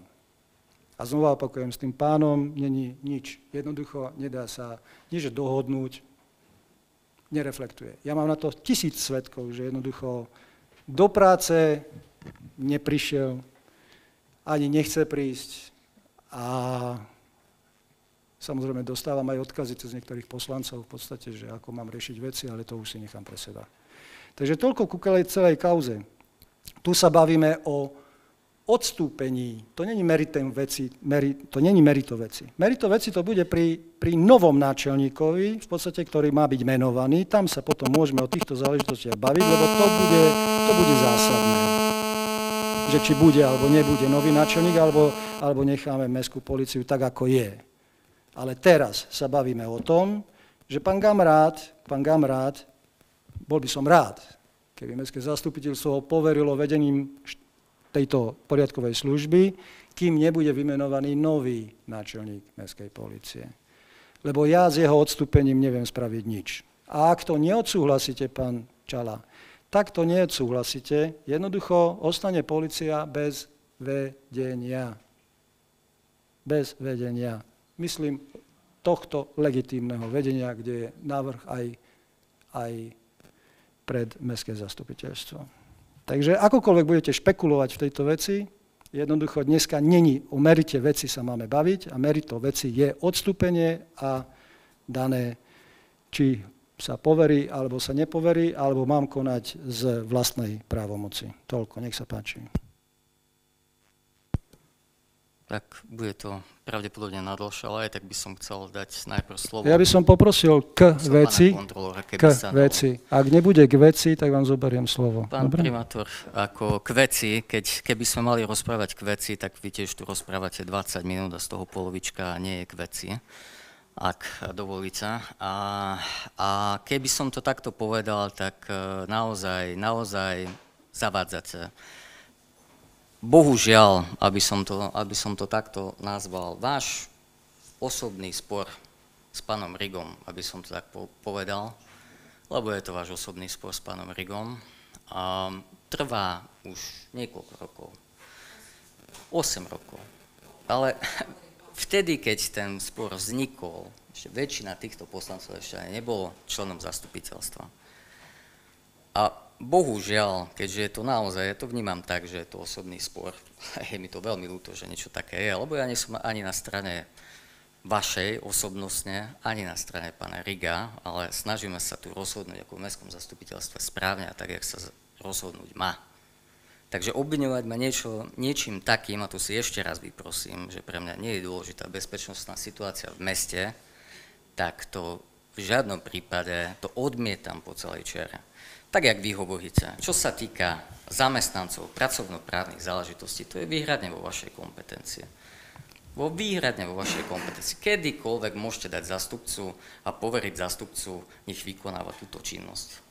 Kedykoľvek môžete. Pán Gamrat tam zostane ako bežný policajt, takže v podstate sa nič nezmení. Ja chcem len presne vedieť a chcem od vás počuť len jednou vetou, že všetky súdne rozhodnutie nám pošlete písomnou formou naše e-maily. Nič viac nepotrebujem. A všetko ostatné, keď je možné, tak si prosím vás nechajte pre seba aj tie injektíva, aj domyšľania. Je mi veľmi ľúto, že takýto spor vôbec existuje a mala sa dávno dohodnúť nejaká, alebo vyriešiť nejakou dohodou z môjho hľadiska, ale do toho schválenia, neschválenia, bohužiaľ, to je váš spor nás sám doviedol. Veľmi trpezlivo som si vypočul tie vaše uh, uh, neviem čo, keďže sám tvrdíte, že nemáte informácie, ale ste presvedčení o tom, čo hovoríte. Ako absolútny blud, s prepáčením. Nemáte informácie a tvrdíte, že vy viete, že čo je za tým. Ako skade potom viete, čo je za tým. Skade vy viete o nejakých osobných sporoch. Vy na to máte nejaký dôkaz, pán Čala? Tak potom prestante vy, buďte také láskaví. Predložte vy, že je to osobný spor. Ja by som vám mohol predložiť rozhodnutie prokuratúry okresnej, ktorá povedala, že mestská policia nie je ustanovená v zmysle zákona. Z toho vychádzalo všetko rozhodnutie. A nie z osobného sporu, pán Čala. Predpokladám, pán primátor, že sa k tomu vyjadril aj súd, tak by som Predpokladám, bol, bol že by sa... Som veľmi, bol by som veľmi vďačný. Áno, áno. A Keby tomu... ste nekomentovali len po vlastnej ešte, ja chcem vidieť Pán Čala, poprosím, teraz ja hovorím a nevstupujte mi do reči. Takže vaše neviem čo, v podstate o osobných sporoch si vynechajte. Dobre? To je moja záležitosť, v podstate, akým spôsobom sa má konať. Ja som konal vo veci a je to preukazateľné, že som konal vo veci. So súdnymi konaniami, ktoré sú právoplatné, vykonateľné, nemám žiaden problém. V procese ste dostali informácie o tom, že ktoré procesy prebiehajú v podstate. Vy máte možnosť sa aj spýtať, vy máte možnosť, do dneska ste sa prečo nepýtal? Do dneska prečo ste nežiadal písomné, alebo neviem aké vyhodnotenie v tejto veci? Lebo vám to nevyhovovalo. Teraz vám to vyhovuje, pán Čelá. Takže toto je skôr osobné. Ešte raz opakujem. Ak budete mať dôkaz na nejaké osobné záležitosti s týmto pánom, tak potom mi to predložte a prestaňte tu rozprávať do éteru takéto veci, ktoré sú absolútne nepravdou. Ja s týmto človekom nemám žiaden vzťah, ani som nemal a ani nebudem mať. Pracovnoprávne my máme právnu agendu, keď sa pozriete úplne na začiatku, že na jednom aute matovočovým spôsobom pán Rigo v tom čase najazdil toľko kilometrov, ne, máme správu z toho, že to ako Matovičová babka bola. My sme to všetko predložili Mestskému zastupiteľstvu. Všetko. Celú tú činnosť jeho o tom, akou formou sa nakladalo s majetkom. Čo všetko tam bolo, aké boli porušenia, všetko sme dali pred Mestské zastupiteľstvo. Všetko verejne, tak ako to malo byť. A Mestské zastupiteľstvo sa rozhodlo tak, ako sa rozhodlo, pán Čalá. Mestské zastupiteľstvo sa rozhodlo, že túto vec argumentačne prijalo a zvolili si nového náčelníka Mestskej policie, ktorým bol pán Grác. Mestské zastupiteľstvo, nie Borovský a nie nikto iný. A potom ste si zvolili ďalšieho náčelníka Mestskej policie. Chcete mi povedať, že to bolo z neznalosti veci? Že vy ste prijali nového náčelníka a že vznikla táto situácia? Vedomo sa to robilo a na základe tých rozhodnutí, vterajších informácií všetkých, ktoré bolo predložené mestom v podstate. Takže poprosím, skúste tú osobnú úroveň dať preč. Ja s takýmito ľuďmi som sa nikdy nestretal, ani sa stretávať nebudem. Pre mňa tento človek vtedy porušil množstvo zákonov a preto od začiatku, a nie len ja, ale aj príslušníci mestskej polície, ak si dobre pamätáte, verejne vystúpili voči tomuto náčelníkovi a bolo to v dome kultúry, kde povedali, že pod týmto človekom robiť nechcú. Robiť nechcú. A tam boli aj odbory za mestskej polície. Takže skúste tú osobnú úroveň vynechať z, tohto, z tejto záležitosti. Pán Krušinský. Ďakujem pekne za slovo. Pán, vážený pán primátor, vážená pani prednostka, vážení pani poslanci. Nechcel som reagovať, ale život, život tak dá, že niekedy človek nechce reagovať, ale musí. Niekedy to preciťujem tak, ako možno aj v tom našom slovenskom parlamente, že niekedy tie, tie konania našich poslancov v Bratislave, alebo to konanie naše niekedy, sa podoba možno aj na nich a niekedy som z toho úplne zmetený, že kde vlastne sedím a čo vlastne, či som 2024 alebo 2018 alebo kedy sa to nejak riešilo. Uh, úplne zmetené, úplne zmetená pol hodina teraz, uh, pán, pán poslanec. Uh, úplne zbytočná, úplne politicky motivovaná, úplne vyklúč z toho, to, čo chcem, chcem to počuť, chcem to povedať, úplne zbytočná. Máme na to stretnutia, máme na to všetko ja ako poslanec a v podstate už aj väčšina tých poslancov, ktorí tu sedíme, ja si myslím, že vieme všetky informácie, možno nie tie najaktuálnejšie, trebalo sa to možno spýtať, ale všetky informácie ohľadne aj tohto sporu vieme. Boli nám to neraz prezentované, boli sme s tým vyrozumení, samozrejme na takých fórach, e, kde sa o tom môže rozprávať. Ja si myslím, že všetky informácie ohľadom pána Riga, ohľadne toho sporu máme a sme vedeli. Takisto aj vy, takisto aj ostatní poslanci. Ale každý nech si povie to svoje. Ja som o tom vedel, tak poviem. Takže predpokladám, že aj ostatní. Je mi, je mi fakt ľúto, že politicky sa takto chcú alebo chce vyklúť z toho niečo. A osobne mi je ľúto, že zas je tu nejaký bod, že pán načelník sa vzdal a potrebujeme tu riešiť vec a zase sa zjaví meno Rigo. To je úplne, úplne nepochopiteľná vec je 2024. Táto vec sa rieši, rieši sa tam, kde sa to má riešiť, nech sa to tam rieši. Keď mesto dostane z prokuratúry nejaké oznámenie, že treba niečo spraviť, tak to spravíme. Zatiaľ to nie je. Je tu vec, ktorá sa musí pragmaticky vyriešiť a riešime tu pol hodinu takú vec, ktorá, ktorá úplne, je, úplne, úplne som, som mimo z toho celého. Poviem pravdu. Riešime tu bezpečnostnú situáciu, že fakt to je nejakým spôsobom zlé, chceme to nejakým spôsobom riešiť a potom, potom, potom nejak, nejak matneme dozadu 5, 6, 7, 8 rokov do minulosti a ideme teraz riešiť, riešiť neviem čo. Táto situácia ohľadne bezpečnosti, nechcel som to otvárať, aj nechcel som to nejak komentovať, e, v podstate súhlasím so všetkým, ktoré, čo bolo povedané v predošlom bode. E, áno, v minulosti a ja, sa do, ja, ja dostávam otázky od obyvateľov, že predtým to nebolo, predtým to bolo tak, predtým to bolo onak. Áno, jednoduchá vec, predtým ani obchody neboli otvorené do 9. večera. Celé mesto žije, o pol 10. ešte celé mesto plné. Akcie majú obchody od 8. Každý je vonku o 8. Tá bezpečnostná situácia sa vyvíja tak, ako vyvíja. To sme nevymysleli my. To dáva život. To je len jedna vec z toho celého. Nehovorím, že to je zásadné, ale je to zásadné. Mesto žije. Keby z obchody zatvorili o 6, o 5, je možno kľud, neviem. Každý nech si to vysvetlí sám. Každá situácia, každá životná situácia ľudí, aj, aj politická, aj, aj ekonomická, dáva v každom čase niečo. Áno, posledné roky žijeme fakt hektické obdobie, aj, aj, aj ľudia, aj všetci sú nervózni, každý si rieši veci po, po svojom ale fakt som si nemyslel, že dnes, dnešné poobede budeme riešiť e, túto vec. Ja som z toho úplne sklamaný, pán Čala, a poviem to aj na plné ústa, že som z toho sklamaný, že, že ste toto vyťahli na takom fóre teraz, aj keď si myslím, že 90% informácií viete a vieme, nielen vy, ale vieme, a teraz toho takto tlačiť von, takto to tlačiť von, to je ako úplný nezmysel. Úplne nezmysel. Prepačte, že to tak hovorím, asi na to budete reagovať, ale úplne nezmysel. Trebalo to vyriešiť, je tu vec na stole, máme tu tri body a rozprávame tu už dve hodiny o tom, že ja neviem o čom.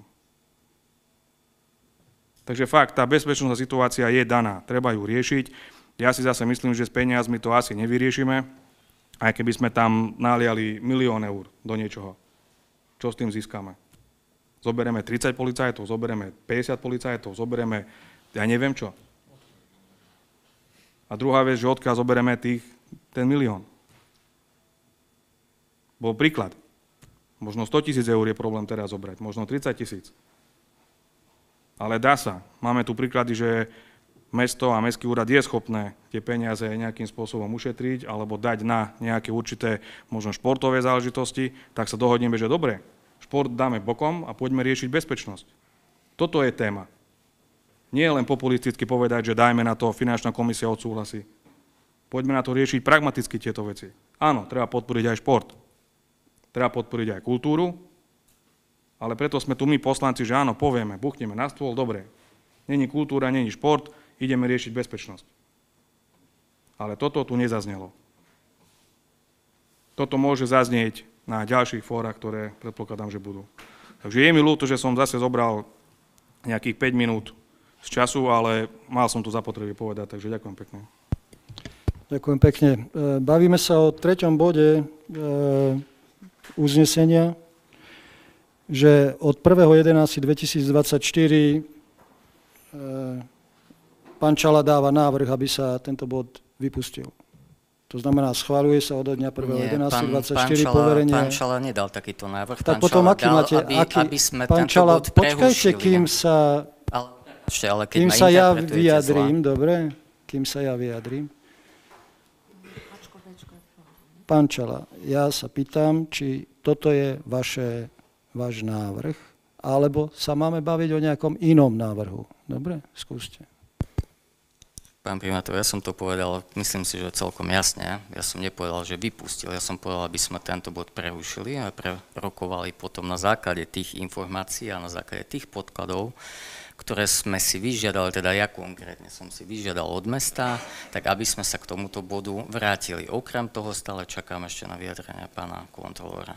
Je to podľa mňa kľúčová otázka na základe toho, či je ako v roku 2000, aby som sa vrátil aj k tým v úvodzovkách obvineniam, ktoré som tu akože vypočul na moju adresu. Ja som hovoril a od začiatku hovorím, že, že e, pre mňa je dôležité, aby bolo všetko dodržené v súlade s, s predpismi, so zákonom, aj s potenciálnymi súdnymi rozhodnutiami. Tu, vy sa tu odvoláte, ale pán Krušinský tiež sa odvoláva nejaké súdne rozhodnutia, hovorí, že 90% pozná. Však keď je tu súdne rozhodnutie, tak treba vedieť veci na 100%. A tieto veci, a tie, keď sú nejaké súdne rozhodnutie, ktoré sú právoplatné, tak by bolo fajn, keby sme to dostali. Väčšinu informácií, ktoré sme dostali, to súhlasom s pánom Košinským, že sme to dostali od pána primátora nejakou hovorovou formou, ale dobre vieme, že hovorová forma proste nie je exaktná veda. Je to subjektívne, je to subjektívny pocit a je mi to veľmi ľúto, že ma napadáte takouto formou, keď ja len chcem do diskusie vniesť jednoducho vecnosť. Vecne sa k takýmto veciam a práve preto žiadam a opakovane žiadam, aby sme tento bod prerušili, nie vypustili, prerušili a prerokovali na ďalšom zastupiteľstve. Na základe toho aké dokumenty dostaneme, ktoré by sme mali aj vy, pán Krušinský, veľmi, veľmi pečlivo by ste sa mali do toho pozrieť a potom sa k tomu vyjadriť. A nie tu niekoho obviňovať. Ani mňa.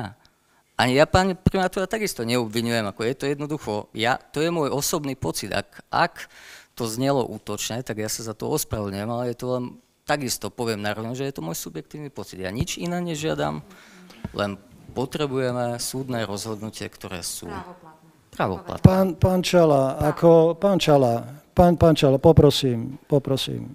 Uh, ja uh, veľmi pozorne vnímam, ako hovoríte. Je zaujímavé, že ste schopní sa v jednom momente otočiť sám proti sebe a, a tvrdiť veci, ktoré nie sú pravdou. Začali ste s tým, že je to môj osobný spor s pánom Rigom na základe akého dôvodu, akéhokoľvek dôvodu. Povedzte mi, aký dokument, aký dôkaz, alebo hoci čo máte, že takouto formou mňa verejne tuto dostávate do stavu, že ja mám nejaký osobný záujem. Povedzte mi to. Ak chcete odpovedať, tak mi dajte slovo, pán primátor. Ešte ja raz. Na... No, ešte raz. Tak mi dajte slovo. Ešte ja sa raz. vyjadrím. To znamená môj osobný spor, a to si vyprosím. To si vyprosím.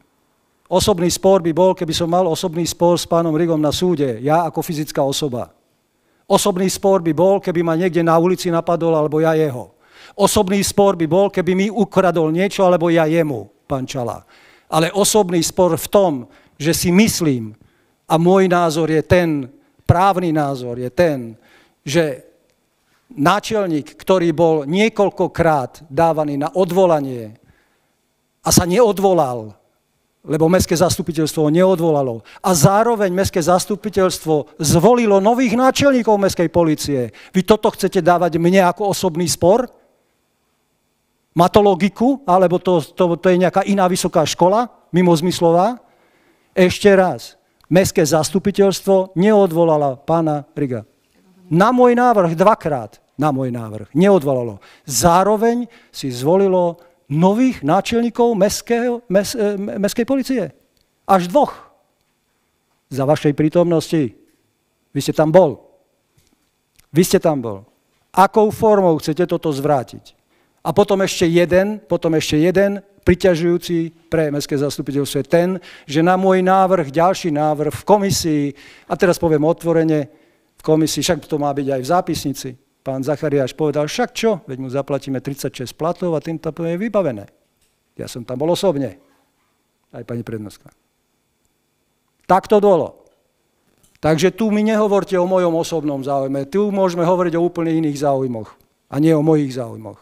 My máme na to právnu analýzu, akou formou sa vykonávala práca náčelníka mestskej policie v tom čase. Máme na to právnu analýzu, môžeme to vytiahnuť znova a znova prejednať tieto veci. A je aj zverejnená. Tak sa dočítate veci.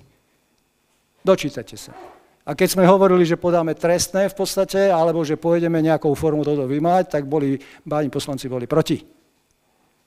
Proti. Tak mi nehovorte o mojich osobných záujmoch, ale o nejakých iných osobných záujmoch.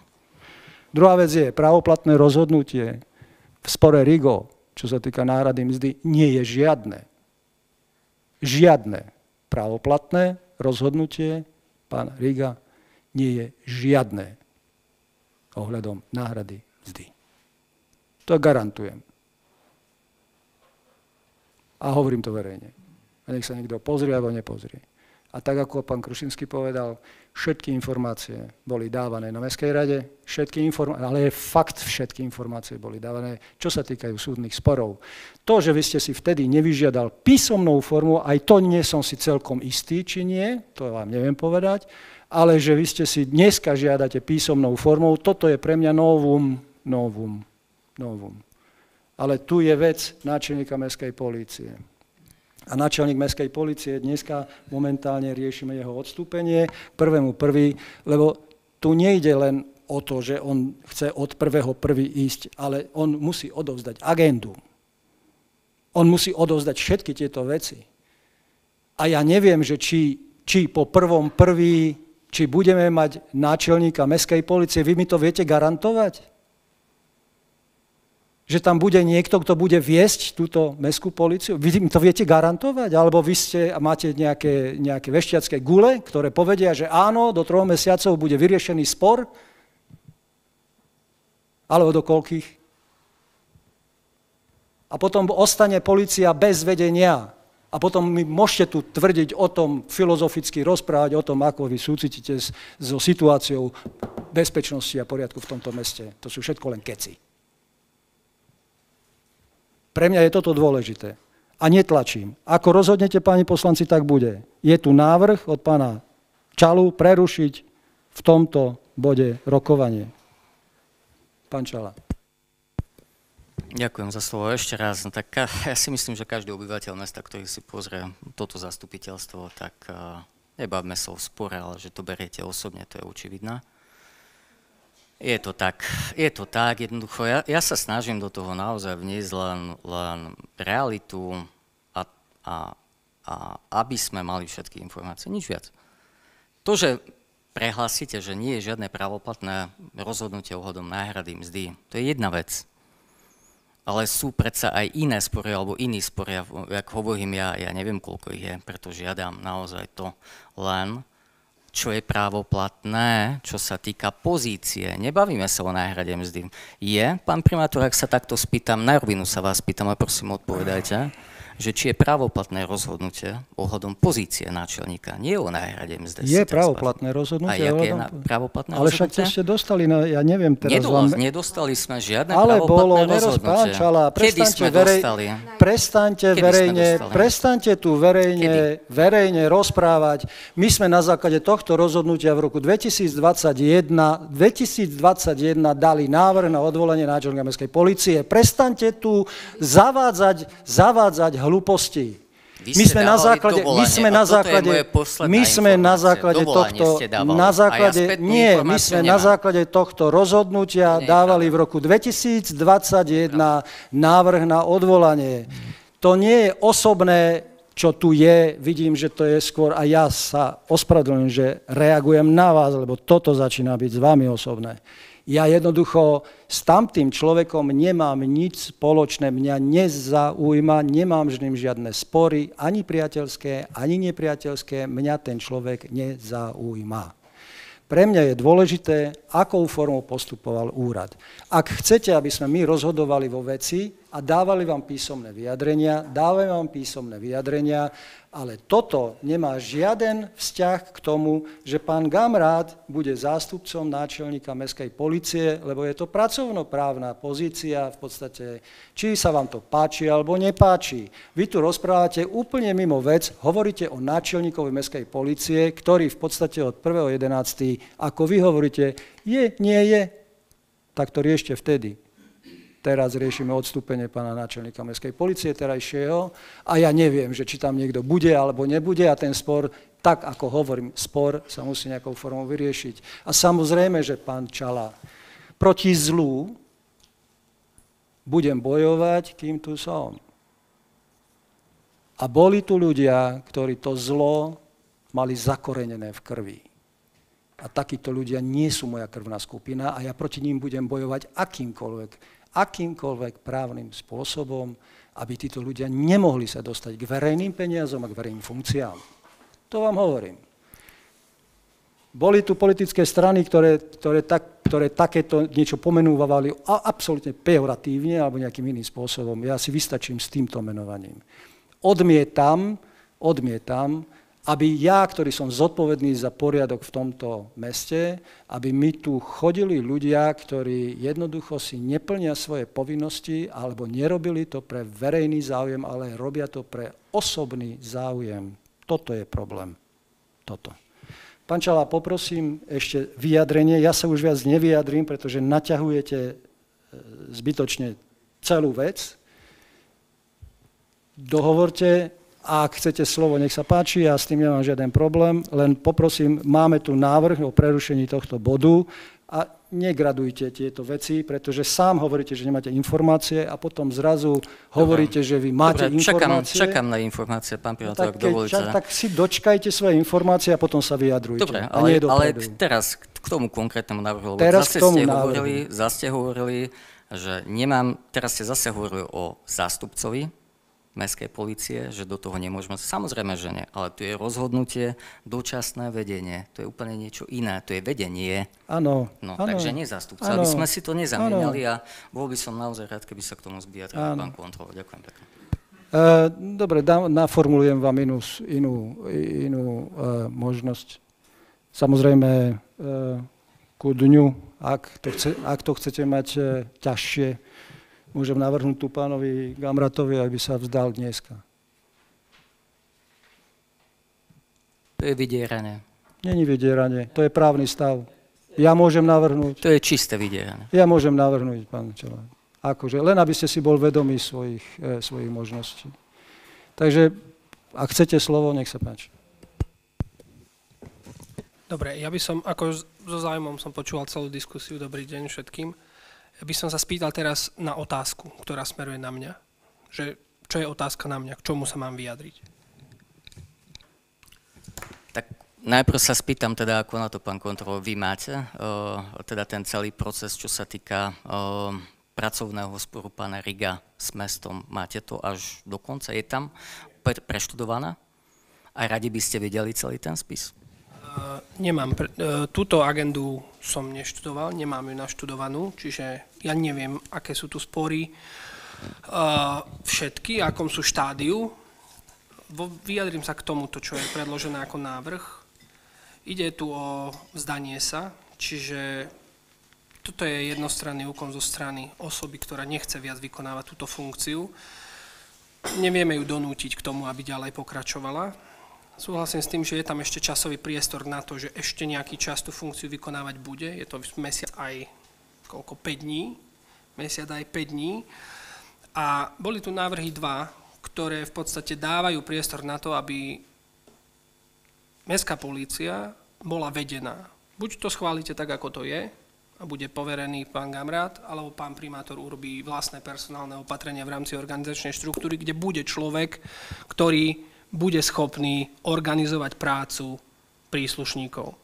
Čiže ako z môjho pohľadu, čo sa stane teraz, pán Gamrát od, uh, sa vzdáva svojej funkcie, to znamená, náčelník nebude a bez vášho súhlasu v budúcnosti nový nebude, môže nastať situácia v prípade, ak náhodou existujú právne spory, o ktorých ja nemám 100% vedomosť a možno, že to je len tým, že som na niečo zabudol alebo som niečo nemal k dispozícii, to neviem povedať. Môže sa stať, že súd nám nejakým spôsobom nariadi, neviem, či to je možné vôbec, že pán Rigo sa má vrátiť na pozíciu a funkciu. Ale v takom prípade by som potom od súdu ja osobne očakával, ako máme vyriešiť situáciu v meste, v prípade, ak by bol medzi tým zvolený nový náčelník, čo sme tu už dvakrát mali. Toto, je, toto sú varianty, ktoré ja vidím, že môžu teoreticky nastať.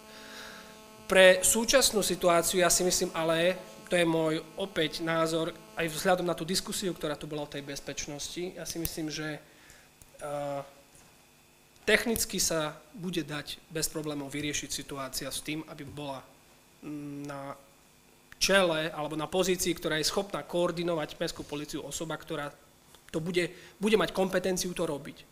Či už to potvrdíte vy takýmto, alebo si osobne myslím, že ak to neurobíte, tak pán Gamra to nebude vykonávať, lebo on sa vzdal, tak urobí to pán starosta, eh, pán primátor. Čiže ja si myslím, že z hľadiska toho, aby sme tu mali nejaké iné rozhodnutie súdu, právoplatné samozrejme, my tú situáciu dokážeme riešiť a, si, a policia bude s človekom, ktorý bude schopný ju organizovať. To znamená, nestane sa situácia, že bude tu nejaký celok, do ktorého dávame pol milióna ročne bez organizácie. Čiže tohto by som sa neobával. Situácia môže sa zhoršiť a skomplikovať v prípade, že v budúcnosti, ak existuje taký spor, alebo bude taký spor, to ja neviem, budeme mať právoplatné rozhodnutie súdu. Ak ho budeme mať, potom si viem predstaviť, ale vtedy by som ja očakával a možno zo strany mesta povedal priamo v tom konaní, že ak vy chcete povedať to, že ten človek sa má vrátiť, povedzte nám, ako máme vyriešiť situáciu s už existujúcim náčelníkom, ktorého tu máme. Čiže to je môj pohľad na vec. Teraz v tejto situácii osobne nevnímam riziko toho, že policia bude, nebude mať kto dávať pokyny ľuďom, nebude mať kto robiť smeny, nebude mať kto proste zadeľovať prácu. V tejto situácii, ako mne sa to takto javí, ja tiež nie som odborník na bezpečnosť, ale z hľadiska, teraz sa bavíme najmä o kompetenciách, kto koho ako môže vymenovať a podobne. Čiže spor súdny je vždy riziko. Keď príde nariadenie súdu, to budeme musieť rešpektovať. Ja nemám, ja zo svojej pozície nemám vedomosť o tom, že súd nám nariadil spôsobom, aby sa pán Rigo vrátil. Neviem, máme takéto rozhodnutie? Ja ho, som ho nevidel, máme takéto? Možno, že existuje, ale neviem o ňom ja. Čiže možno k tomu smerovala otázka, že či náhodou sa nestane to, že mal sa tam vrátiť on a my chceme vymenovať niekoho iného. Ak som to správne tak nejak podpraho cítil. No. Čiže uh, čo je ale dôležité z môjho pohľadu je, že, že si myslím, že nenastane situácia toho, že policia nebude vedieť fungovať. Čo myslím si, že v kontexte aj tej diskusie predtým o bezpečnosti je absolútne kľúčové pre mesto. A myslím si, že, prepačte ešte, že, že vznikla nová situácia, že náčelník nie je a myslím si, že áno, je tu áno, je pravda, to súhlasím s vami, že ešte je tu priestor na to diskutovať o tom, ako to riešiť ďalej. Ale že či vy to urobíte takto, cez toto uznesenie, alebo primátor to urobí cez svoju uh, kompetenciu, ten dosah na to, že tie hladky budú v uliciach, myslím si, že to neovplyvní prácu policie. Aspoň teda dúfam, že to neovplyvní hlavne nie negatívne. No, uh, a tu by som troška namietal pretože toto je, toto je už, to už absurdné. A to teraz, teraz zase len na tejto úrovni. To, ja to vnímam ako absurdnosť. Ako, nehnevajte sa, ale fakt ako absurdnosť. Tak pán Gamrát tu odslúžil roky. Nemáte námietky, neboli vážne námietky, že by bol odvolávaný alebo čokoľvek. To znamená, že tento človek tu žil, pracoval s plnou dôverou. A ja dneska pri odstupovaní vám navrhujem, aby sme transparentne ho určili ako zástupcu, aby viedol ďalej túto službu. A vy hovoríte o tom, že nie, nebude. Nie, nebude.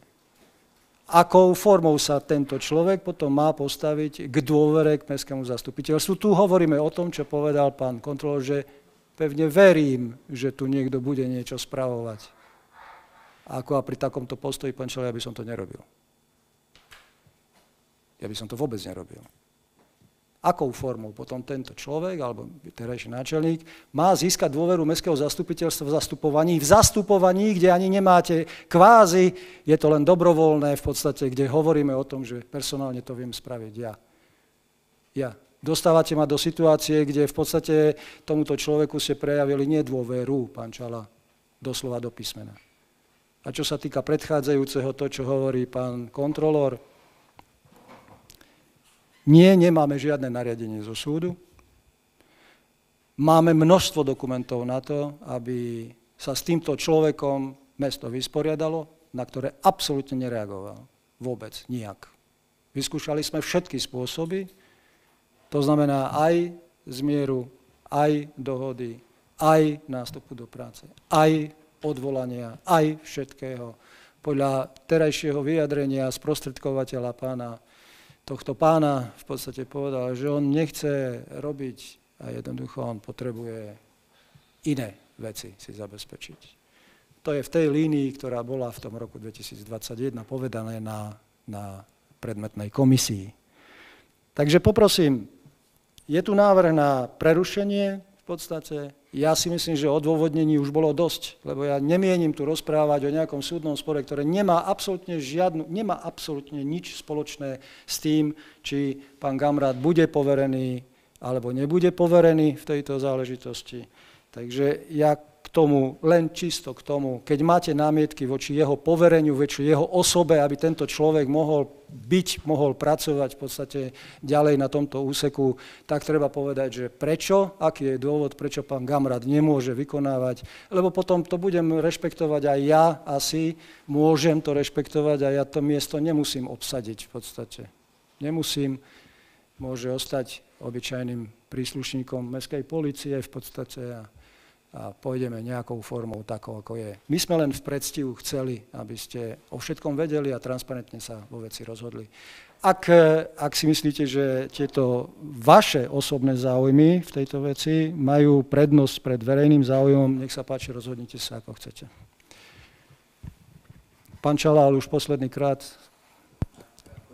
lebo k veci. Pán, nedá, nedá mi nereagovať, pán Piotr, to tiež nie je, vec, nie je k vec, čo ste povedali, prepačte. Je presne Ale k veci. Nie je, to, nie je to vôbec o osobe pána Gamrata. A o kom? Koho poverujete? Snad ide mňa. o pozíciu, o danú pozíciu ide a už Zástupcu? 5 krát som sa ozval a ešte som raz nepočul to od vás, že všetky podklady pošlete na náš e-mail. Pošlete? To je všetko, čo potrebujem.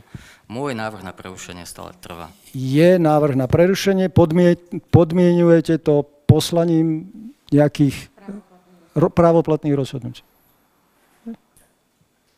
To znamená, že to podmienujete. Alebo to sú dva návrhy, alebo čo to je? Takto, ja navrhujem prerušenie. Dobre, tak A budeme rozhodovať o tom. Že toto je, to je úplne logické, Budeme, že by pán, pán Čala, budeme rozhodovať o prerušení, dobre, tohto, tohto, tohto bodu. Ešte nejaký iný návrh? Není iný návrh. Dobre. Takže s plným vedomím v podstate danej veci, pani poslanci, aj s odpovednosťou smerom k ľuďom, v podstate, lebo ja hovorím, ja neviem, ako sa pán Gamrát k celej danej veci po prípadnej strate dôvery z vašej strany e, e, zachová. Dám hlasovať o tomto bode s tým, že najprv prerokujte návrh pána Čalu, aby sa v tomto bode rokovanie Mestského zastupiteľstva prerušilo. Kto je za?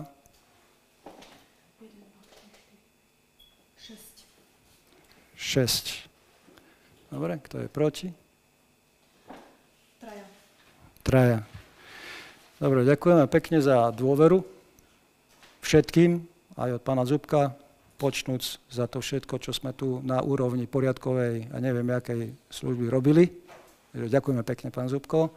Dúfam, že aj v komisiách potom budeme pracovať tak, ako pracujeme. Ja si svoje veci potom dotiahnem. Samozrejme, na vaše aktívne požiadavky, ktoré sú, tak e, budem reagovať. E,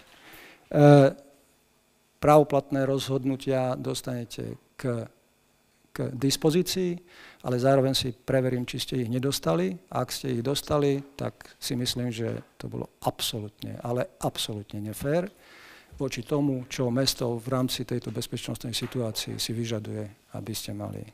Ja vám už nedám slovo, lebo není žiaden bod. Ne...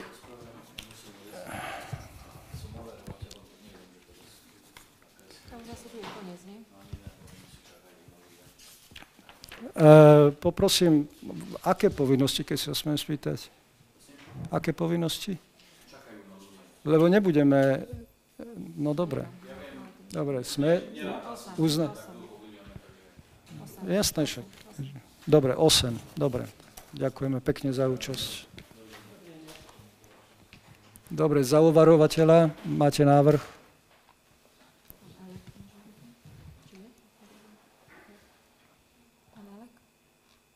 Pán Elek. Môže byť pán Elek, overovateľ. Dobre, kto je za? Dobre. OK. Dobre, takže e, bod je prerušený. Ideme ďalej, bod číslo 4 rôzne, takže nech sa páči do rôzneho.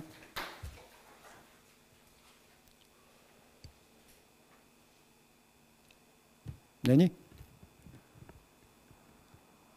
A není? Neviem, športový klub? Nič? Máme tam ešte dohodárov nejakých v športovom klube? Neviem, lebo by sme sa na to pozreli, lebo tam je tiež nejaký problém.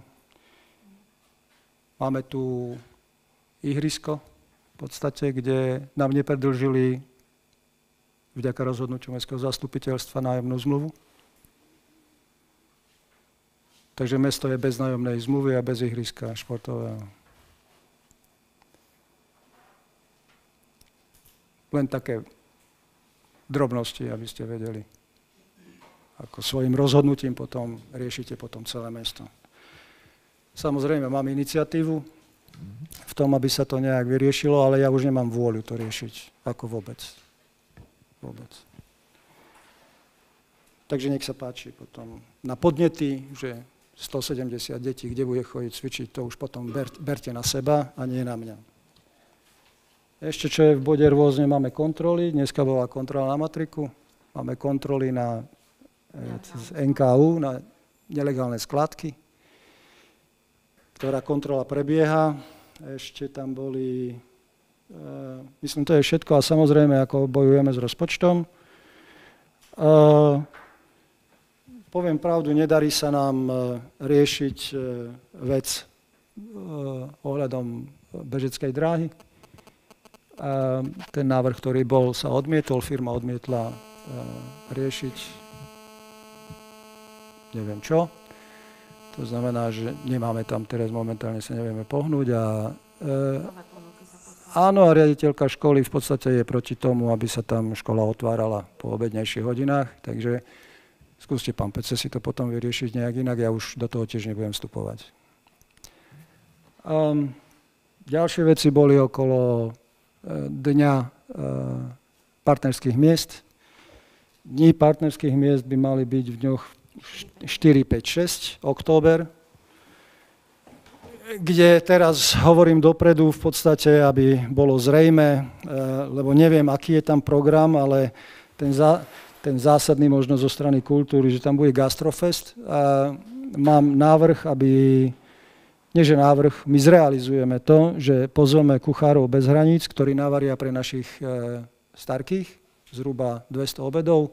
Každý z dôchodcov dostane poukážku v podstate, kde si bude môcť vybrať obed, e, ktorý sa u nás navarí. Samozrejme, no, No tí, ktorí sa stravujú, pardon, to sú, kde donášame stravu, to je 180, 180 stravníkov.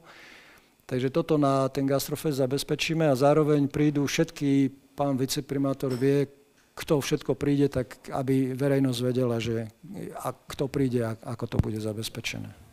Ďakujem pekne za slovo. Tak e, v krátkosti, to sú, pozvaní boli všetky partnerské mesta. E, zatiaľ máme potvrdené tri, na to Karcag, Enč a Sejkekerestúr e, z Rumunska. E, oni sa vlastne zúčastia s ich oficiálnou delegáciou s tým, že aj takto vlastne by som chcel využiť možnosť pozvať vás, pánov poslancov, o 17. hodine na posedenie alebo na ten okrúhly stôl, ktorý sme plánovali s partnerskými mestami ako oficiálny program. E, s tým, že vlastne v sobotu, v sobotu ostáva iba e, rumúnske partnerské mesto, kde je v podstate individuálny program. Po obede samozrejme na tom gastrofestivale v podstate to ukončíme a ten program bude v podstate zameraný na, na výmenu skúseností a odprezentovanie tých projektov, ktoré sme zrealizovali a samozrejme odprezentujeme tie projekty, ktoré chceme ešte realizovať, ktoré sú odsúhlasené, sú na to nejakým spôsobom aj, aj uznesenia a sú aj nejaké vízie. A hlavnou myšlienkou bolo vlastne nájsť e, aj ďalších partnerov v rámci partnerských miest na tieto projekty. Samozrejme aj finančné, aj, aj iné e, podpory. E, zúčastnili sme sa vlastne tento rok na troch stretnutiach v partnerských mestách. Boli sme v Sejkej Kerestúri, v Enči a vlastne teraz e, minulý týždeň piatok v Karcagu. Si myslím, že tie stretnutia boli, boli prínosné. či z kultúrneho, či zo športového hľadiska. Samozrejme budujeme nové vzťahy aj s, s Edaleňom, kde vlastne od 1. oktobra majú nového, majú nové vedenie mesta. Takže som zvedavý, že vlastne či nový pán starosta alebo pán primátor príde, je prísľuba, tak uvidíme. Takže je tento program v podstate viazaný na delegácie partnerských miest v rámci Mestského úradu, v rámci poslancov a v rámci mesta. Takže páni poslanci, piatok o 17. hodine v kultúrnom dome by sme sa mali stretnúť. 24. 4. 4, 5, 6. To je 4. Hej. To spomne, to som nepovedal. 5. v sobotu je gastrofestival v organizácii mesta Mestského kultúrneho strediska a piatok je v podstate v stretnutie partnerských miest.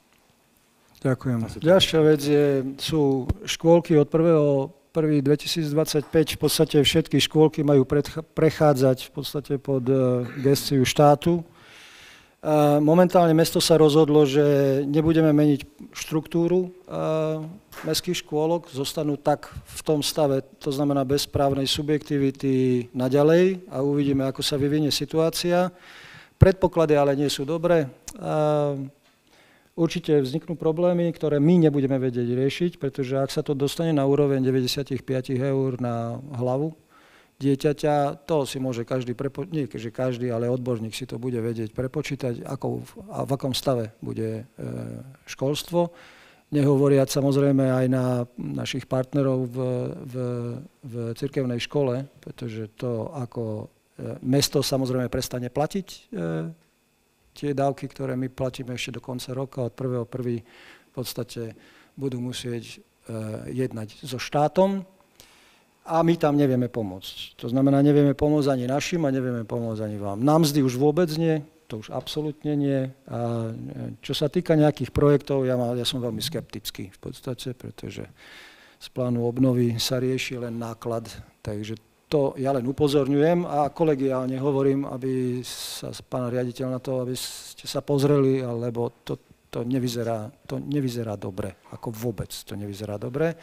Školská komisia k tomu bude určite zasadať, aby sa to rozhodnutia po prepočítaní, po posúdení celej veci, aby ste mali ako školská komisia vedomosť, všetci riaditeľia ešte, ešte v októbri, a ako je to nastavené, ako vychádzajú jednotlivé prepočty. Ehm, je zaujímavé, zaujímavá je vec, že e, štát v podstate, e, ani nie štát, ale vláda e, svojim rozhodnutím schválila tri varianty v podstate a zákon má platiť od 1.1.2025, dneska je október. Tak ako na odpad nie sú vykonávacie predpisy, tak ani na to nemáme ani základný údaj, že akou formou sa to má transformovať. Toto bude veľký problém.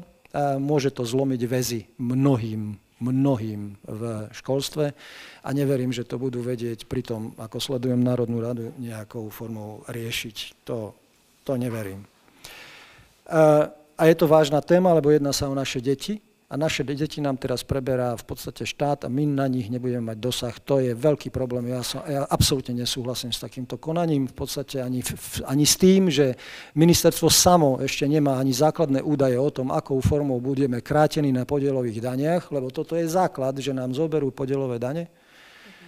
15%, 15% no takto, dostaneme sa na úroveň 55% zo 70. Hej? To znamená, doteraz sme brali 70% podielových daní, tak ako bolo v samozprávach, teraz máme 55% popri tom malo byť 56,5 ale nakoniec je 55 Okrem toho ešte štát dlží samozprávom okolo 80 miliónov a snaží sa to ešte nejakou formou kompenzovať, ale tento rok bude minimálne strata 50 miliónov a hovoríme aj o školstve. To znamená, peniaze sú, sú mimo hry v tejto sfére. Takže toto je tiež jedna veľmi dôležitá informácia z hľadiska toho, že čo, e, sa, čo sa deje na úrade. Dennodenne riešime, riešime e,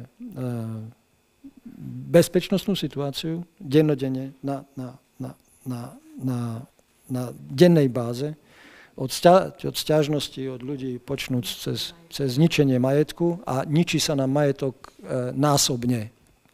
Násobne sa nám ničí majetok v podstate. Um, to je základ asi toho všetkého. V oktobri by sme mali mať, e, mali mať 16. E, ešte neviem presne, ale okolo 16. mestské zastupiteľstvo. Prognoza Rady pre rozpočtovú zodpovednosť mala byť v piatok, v podstate podľa vyhlásenia ministerstva financí, do dneska nie je. Nie je, nevieme sa zorientovať ani v rámci rozpočtu, ani možných výhľadov, výhľadov do budúceho roka. A už to už nie na tento rok, lebo aj tu hovorím, je e, strata 80 miliónov a 36 chcú kompenzovať a 50, že vraj to máme zniesť. Tak som zvedavý, že akou formou. Takže tak. Uh, to je asi z mojej strany všetko, ešte do rôzneho niečo, čo máte. Máte ešte niečo do rôzneho? Ak nie, e, ďalším bodom je... Ja je ešte jedna vec. E, treba prerokovať pôsobnosť Mestskej rady. To už to nechám na vás. Tradícia bola, odkedy toto mesto vzniklo, možno o tom nikto nevie, možno vám hovorím novú informáciu, ale odkedy toto mesto vzniklo, malo aj Mestskú rádu. Ale môžete si ju zrušiť v podstate, pretože je nefunkčná podľa toho, čo vidím, a nechcete to riešiť, tak potom dajte podnet, že či to máme zrušiť, alebo čo chcete s tou mestskou radou, lebo nemusí mestská rada prerokovať odborne, lebo odborné komisie môžu prerokovať jednotlivé programy, ale mestská rada je povinná v podstate do troch mesiacov sa zísť. Tú povinnosť, tú, tá povinnosť trvá v podstate zo zákona. Takže ono treba vyriešiť tú trojmesačnú záležitosť. Buď to bude tak, že pred každým zastupiteľstvom sa spraví Mestská rada zároveň, alebo minimálne 3 mesiace, alebo jednoducho tento problém vyriešite nejakým spôsobom, lebo ja môžem zvolávať Mestskú radu tak, ako aj dneska a nakoniec nebude uznášania schopná, nemá to význam. Lebo podľa všetkého sa z Mestskej rady nedostávajú informácie ďalej. A trvali ste na tom, aby sa to nejak vy kompenzovalo. Takže toto je tiež jeden z bodov, ktoré treba vyriešiť a dať návrh, že čo s tým.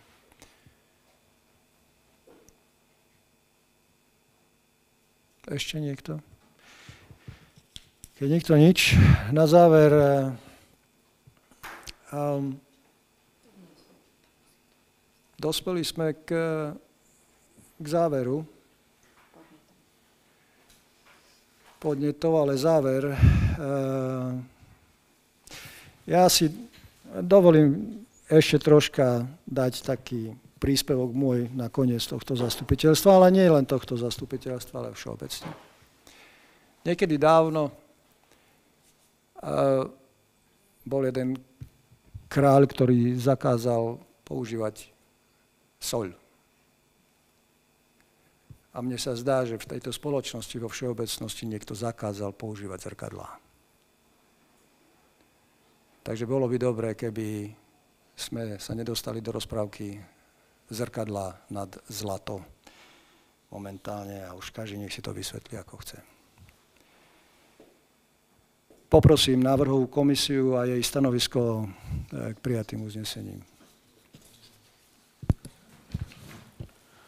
Potvrdzujem správnosť a zákonnosť prijatých uznesení.